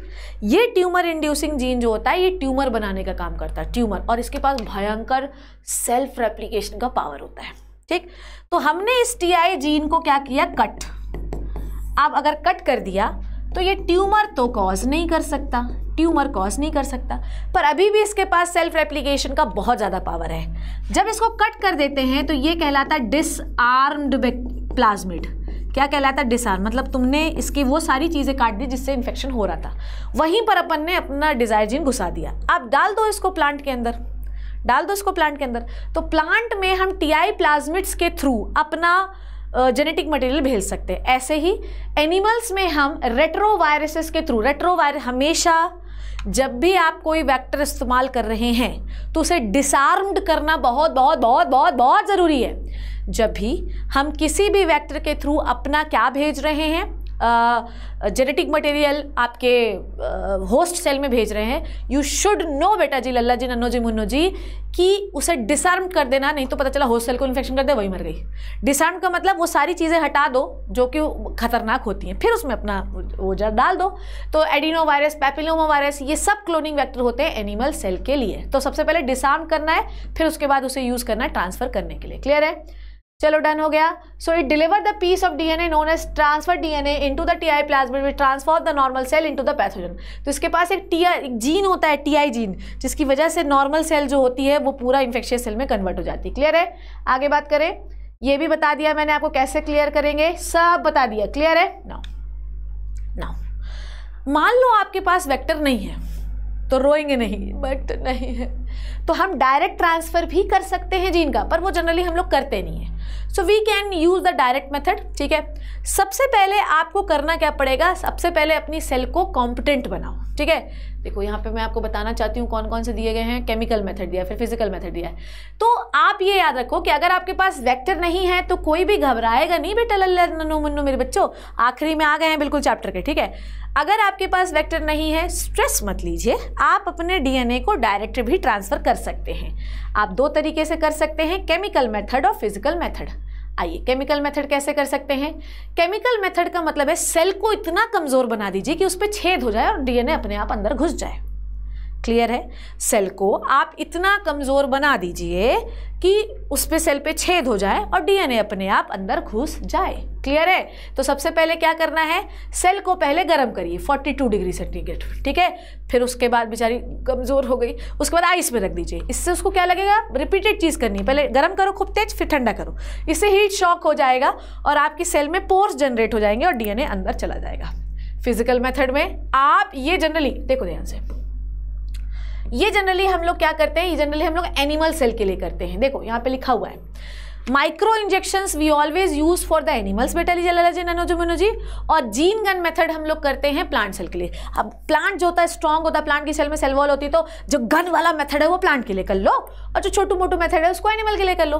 तो माइक्रो इंजेक्शन मेथड जो होता है, ध्यान सुनो listen to listen me very carefully micro injection method जो होता है, ये जनरली हम लोग किसके लिए करते हैं?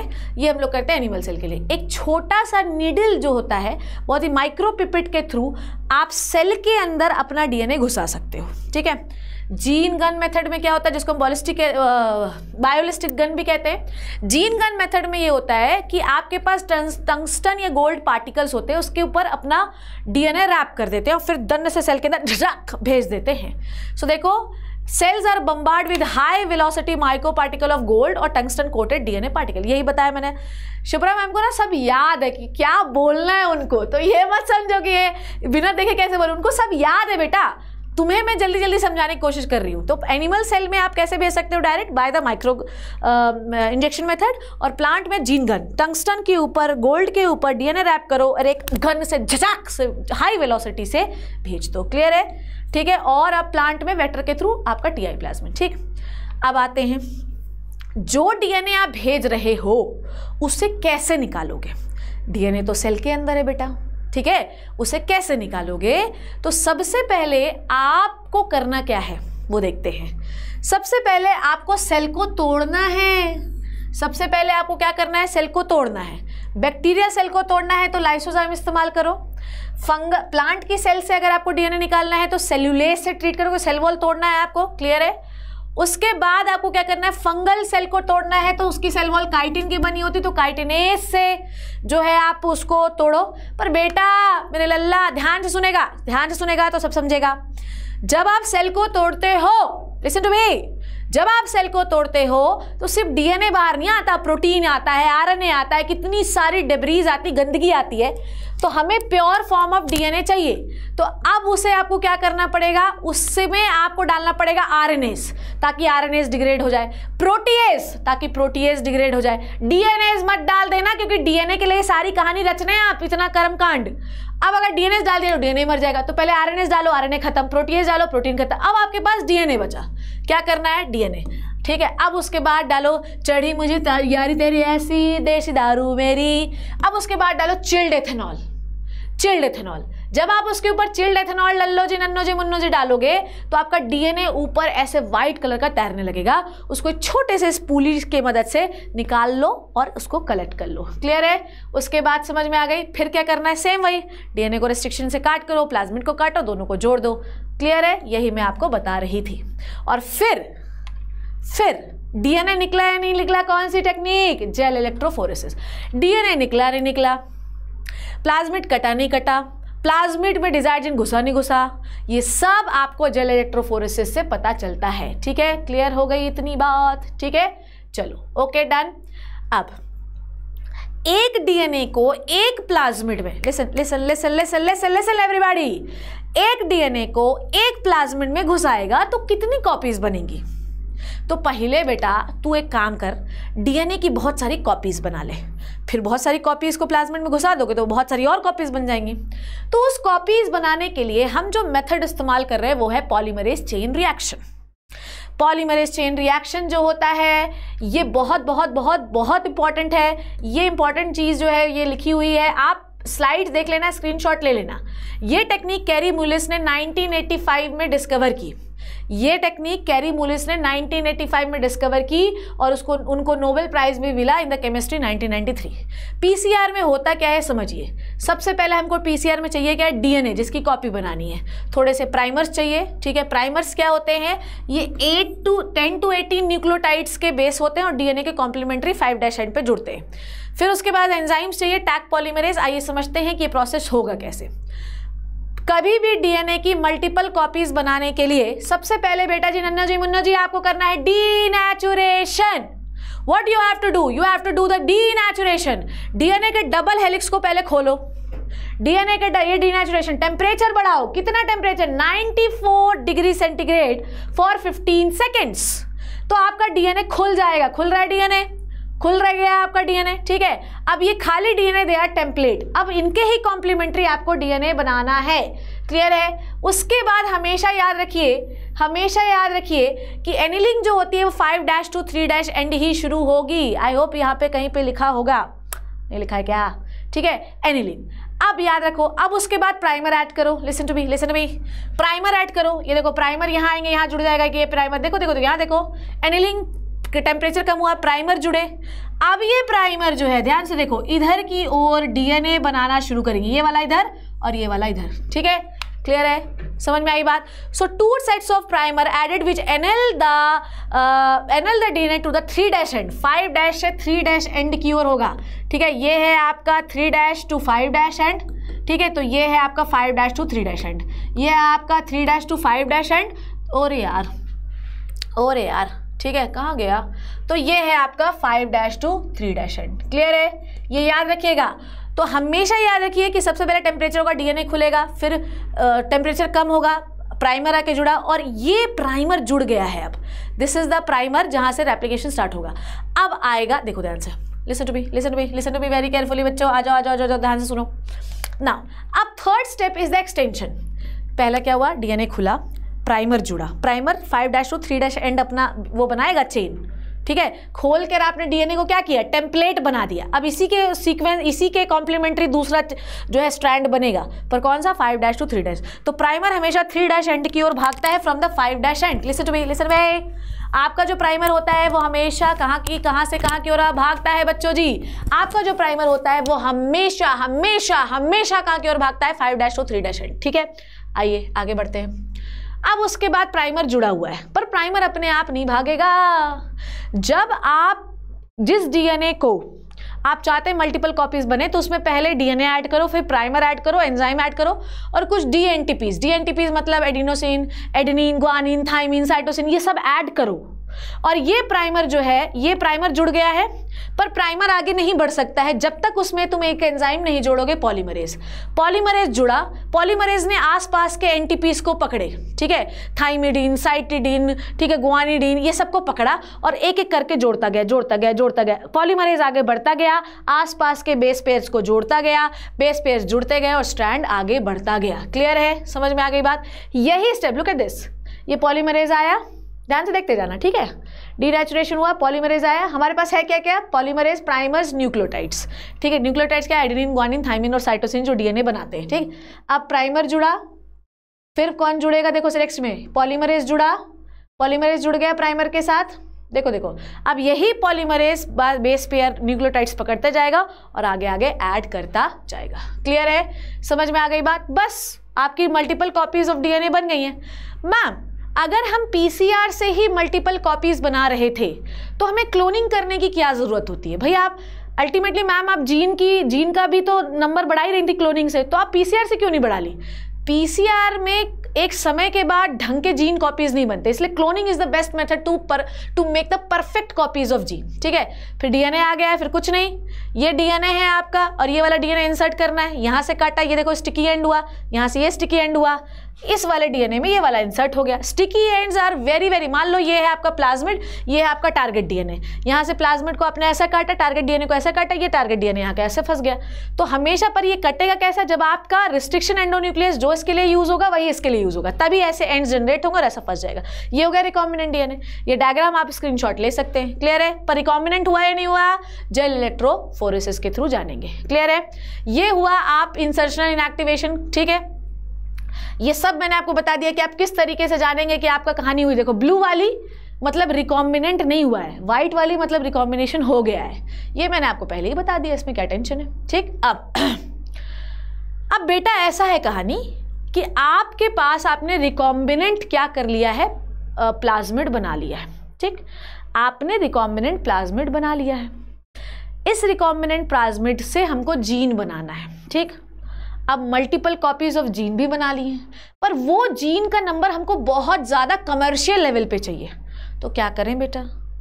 ठीक, उस जीन से जो प्रोटीन बन रहे हैं, उसको हमें कमर्शियल लेवल पे ले जाना है। तो क्या करें मैम तो भैया, उसको बड़े लेवल पे ले जाओ ना।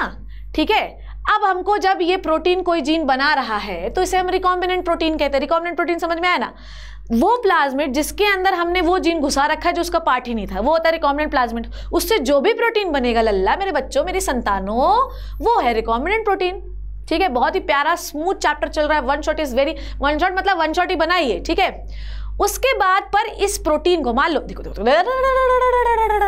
देखो खत्म होने वाला चैप्टर ध्यान से देखो ये है आपका प्लाज्मिड, ये है आपका डिज़ायर जीन, ये है आपका रिकॉम्बिनेंट प्लाज्मिड हम हम चाहते हैं, शिप्रा मैम, कि आप तो इसकी या तो जीन की मल्टीपल कॉपीज बना दो।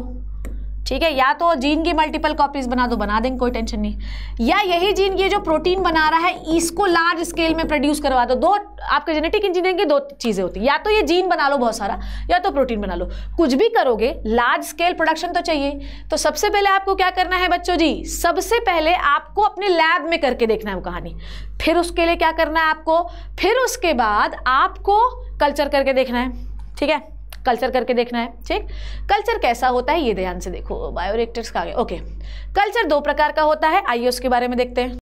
अब कोई भी जीन है या उसका प्रोडक्ट है तो सबसे पहले बेटा जी उसको लेबोरेटरी में उगा के देख लो।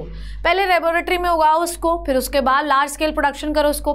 लार्ज स्केल प्रोडक्शन करने के लिए हम दो प्रकार की चीज़ें यूज़ कर सकते हैं। या तो हम बैच कल्चर यूज़ कर सकते हैं, या तो हम कंटिन्यूस कल्चर यूज़ कर सकते हैं। कंटिन्यूस कल्चर का मतलब ये होता है कि आप एक तरफ़ से फ्रेश मीडियम डालते जाओ। भैया, आप जो है, एक होस्ट सेल है, जिसके अंदर प्लाज्मिड पड़ा हुआ है। आपको बहुत सारा होस्ट सेल बनाना पड़ेगा, जिसकी वजह से बहुत सारे प्लाज्मिड आपको मिले, बहुत सारे डिज़ायर जीन आपको मिले। अब बैक्टीरिया को उगाना पड़ेगा, जिसके अंदर प्लाज्मिड पड़ा हुआ है तो उसके लिए मीडियम चाहिए कि नहीं चाहिए? तो एक कंटिन्यूस कल्चर क्या होता है कि आपके पास एक वैसल है जिसमें कंटिन्यूसली यहाँ से फ्रेश मीडियम का इनलेट होता जा रहा है। ठीक है, हम लोग यही वाला ज़्यादातर यूज़ करते हैं। यहाँ से हमेशा फ्रेश मीडियम का इनलेट होता जा रहा है और यहाँ से बकवास मीडियम बकवास बकवास बकवास मीडियम का आउटलेट होता जा रहा है। ठीक है? ठीक? जिसकी वजह से बैक्टीरिया जो है वो मल्टीप्लाई करे जा रहे हैं, करे जा रहे हैं, करे जा रहे हैं, करे जा रहे हैं। बैक्टीरिया कभी मरेंगे ही नहीं, क्योंकि आप उनको न्यूट्रिशन देते जा रहे हैं। ये चीज़ होती है कंटिन्यूस कल्चर ठीक है? कंटिन्यूस कल्चर क्लियर इसमें कभी भी आपका कर्व नीचे नहीं जाएगा, हमेशा ऐसा ही रहेगा, ऐसे बढ़ता रहेगा बढ़ता रहेगा बढ़ता रहेगा, ठीक है? पर अगर आप बात कर रहे हैं किसकी बैच कल्चर की तो आपने एक बार कल्चर डाल दिया, आपने एक बार न्यूट्रिएंट डाल दिया। जब न्यूट्रिएंट की कमी होगी मतलब ये एक्सपोनेंशियल वाला भी तब नीचे क्यों ड्रॉप किया, मुझे समझ में नहीं आ रहा है। इसको और अच्छे से बनाती हूँ, देखो। ये कुछ ऐसा बनेगा बेटा, ऐसा। ग्रोथ होती ही रहेगी, नीचे कभी होगा ही नहीं। क्लियर ग्रोथ होती जाएगी होती जाएगी, क्योंकि फ्रेश आता जा रहा है, बकवास आता जा रहा है न्यूट्रिशन मिलता जाएगा। बैच में ऐसा होता है कि बैक्टीरिया भर दिया न्यूट्रिएंट भर दिया, जब तक न्यूट्रिएंट चलेगा, बैक्टीरिया चलेगा, उसके बाद बैच कल्चर में होता है कि ये कंडीशन आ जाती है। ठीक है this is the batch culture ये ग्राफ होते हैं दोनों के। तो इस तरीके से आप प्लान करते हैं कि आपको कौन से कल्चर में उगाना normally we always use the continuous culture ठीक है, समझ में आ गई बात? लार्ज स्केल के लिए हम ये करते हैं। हमेशा फ्रेश मीडियम ऐड करते हैं और दूसरे साइड से बकवास मीडियम निकालते जाते हैं। दूसरे साइड से बकवास मीडियम भी निकालोगे प्रोटीन बनता जाएगा तो उसे भी निकालते जाओगे। क्लियर है? आइए अब आपका प्रोटीन अच्छा लार्ज स्केल प्रोडक्शन आप करते हो तो आपको यूज़ करना पड़ता है बायोरिएक्टर्स क्या इस्तेमाल करता है? बायोरिएक्टर्स बायोरिएक्टर क्या होते हैं? ये लार्ज वैसल्स होते हैं, जिसमें पीएच टेम्परेचर कंडीशन सब मेंटेन होती है और इसमें खूब सारे अमाउंट पे आप अपने जीन्स अपने प्रोटीन्स बना सकते हैं। बायोरिएक्टर दो प्रकार के होते हैं जो जनरली हम लोग यूज़ करते हैं। एक होता है स्पार्ज टैंक एक होता है स्टिल टैंक स्टिल टैंक जो होता है, ये सबसे कॉमन टाइप का यूज़ होने वाला बायोरिएक्टर होता है। इसमें क्या होता है? है इम्पेलर्स होते हैं, पंखियाँ होती है, ठीक है? इम्पेलर्स इसमें कल्चर डाल दिया आपने, एक फ्रेश मीडियम जाने के लिए हमेशा रहेगा, देखो ध्यान से। इसमें दिया नहीं हुआ है। पर फ्रेश मीडियम जाता रहेगा, बकवास मीडियम आता रहेगा। स्टेराइल एयर्स उसमें जाती रहेगी ताकि एरिएशन अच्छे से होता रहे। इम्पेलर्स के माध्यम से आपका कल्चर घूमता रहेगा ताकि मिक्सिंग होती रहे एरेशन होते रहे और आपके कल्चर में प्रोटीन्स बनता जाएगा। तो दो टारगेट होते हैं जेनेटिक इंजीनियरिंग के। जीन बना लो या प्रोटीन तो मान लो यहाँ प्रोटीन बना रहे प्रोटीन बनाया। साइड से निकालते जाइए प्रोटीन प्योरीफाई करिए मार्केट में भेज दीजिए। क्लियर है? देखो ध्यान से। ठीक? अब उसके बाद नेक्स्ट होता है आपका स्पार्श टैंक स्पार्श टैंक में आप देखिए कि इसमें कोई पंखियाँ नहीं है, पर नीचे से क्या होता है? एक स्पार्जर लगा होता है जो बुलबुलें छोड़ता है ऑक्सीजन के. बुलबुल बुलबुल बुलबुल बुलबुल बुलबुल बुलबुल ठीक है?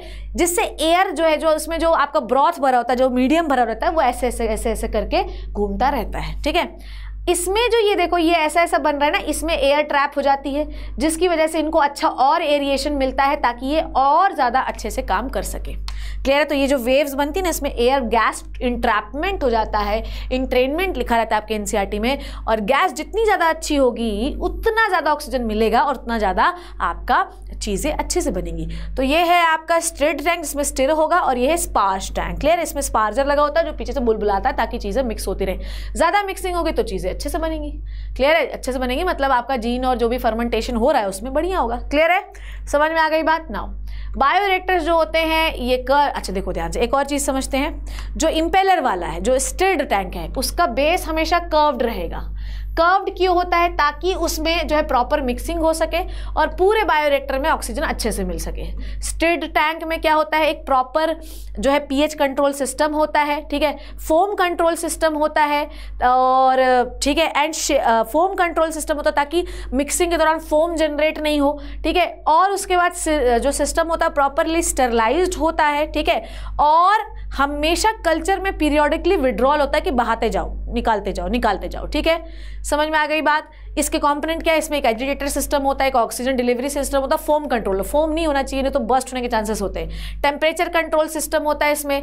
और सैम्पलिंग के ports to withdraw the culture periodically ठीक है? तो यहाँ पर कल्चर जो है, देखो, यहाँ से मीडियम को आप इनलेट करते रहेंगे और यहाँ से आउटलेट करते रहेंगे। तो यहाँ से वेस्ट मीडियम बाहर भी जाता रहेगा और इसके साथ जो भी आपने प्रोटीन या जीन बनाए वो भी बाहर जाते रहेंगे।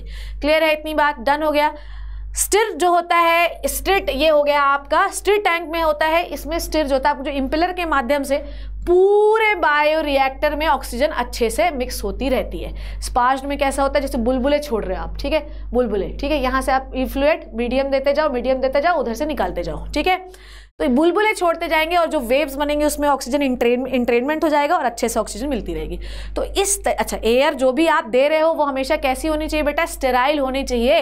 नहीं तो जो आप इतना लार्ज स्केल प्रोडक्शन कर रहे हो ना चीज़ों का जीन का प्रोटीन का, वो सब खराब हो जाएगा। तो जो भी आप एयर दे रहे हो, जो भी आप ऑक्सीजन दे रहे हो, वो it should be sterile otherwise सब कुछ कंटामिनेट क्लियर है? समझ में आई बात? खराब हो जाएगा। तो ये सब pH control temperature control bioreactor में प्रॉपर होता है। क्लियर अब आपके पास बायोरेटर से हमने खूब सारा जीन खूब सारा प्रोटीन बना के रखा है। पर ऐसी थोड़ी भेज देंगे। ठीक है? तो उसके लिए अब हम लोग करते हैं डाउन स्ट्रीम प्रोसेसिंग क्या करते हैं हम लोग इसकी डाउन स्ट्रीम प्रोसेसिंग बनाने का प्रोसेस होता है अपस्ट्रीम प्रोसेसिंग ये होती है downstream processing downstream processing का मतलब क्या होता है? जो प्रोडक्ट आपने बनाया उसको रिएक्टर से बाहर निकालो। फिर उसके बाद उस प्रोडक्ट को प्योरीफाई करो। उसके बाद उसमें अच्छे से प्रिजर्वेटिव मिलाओ और उसके बाद उसकी क्वालिटी कंट्रोल करो और फाइनल प्रोडक्ट को पैक करके भेज दो।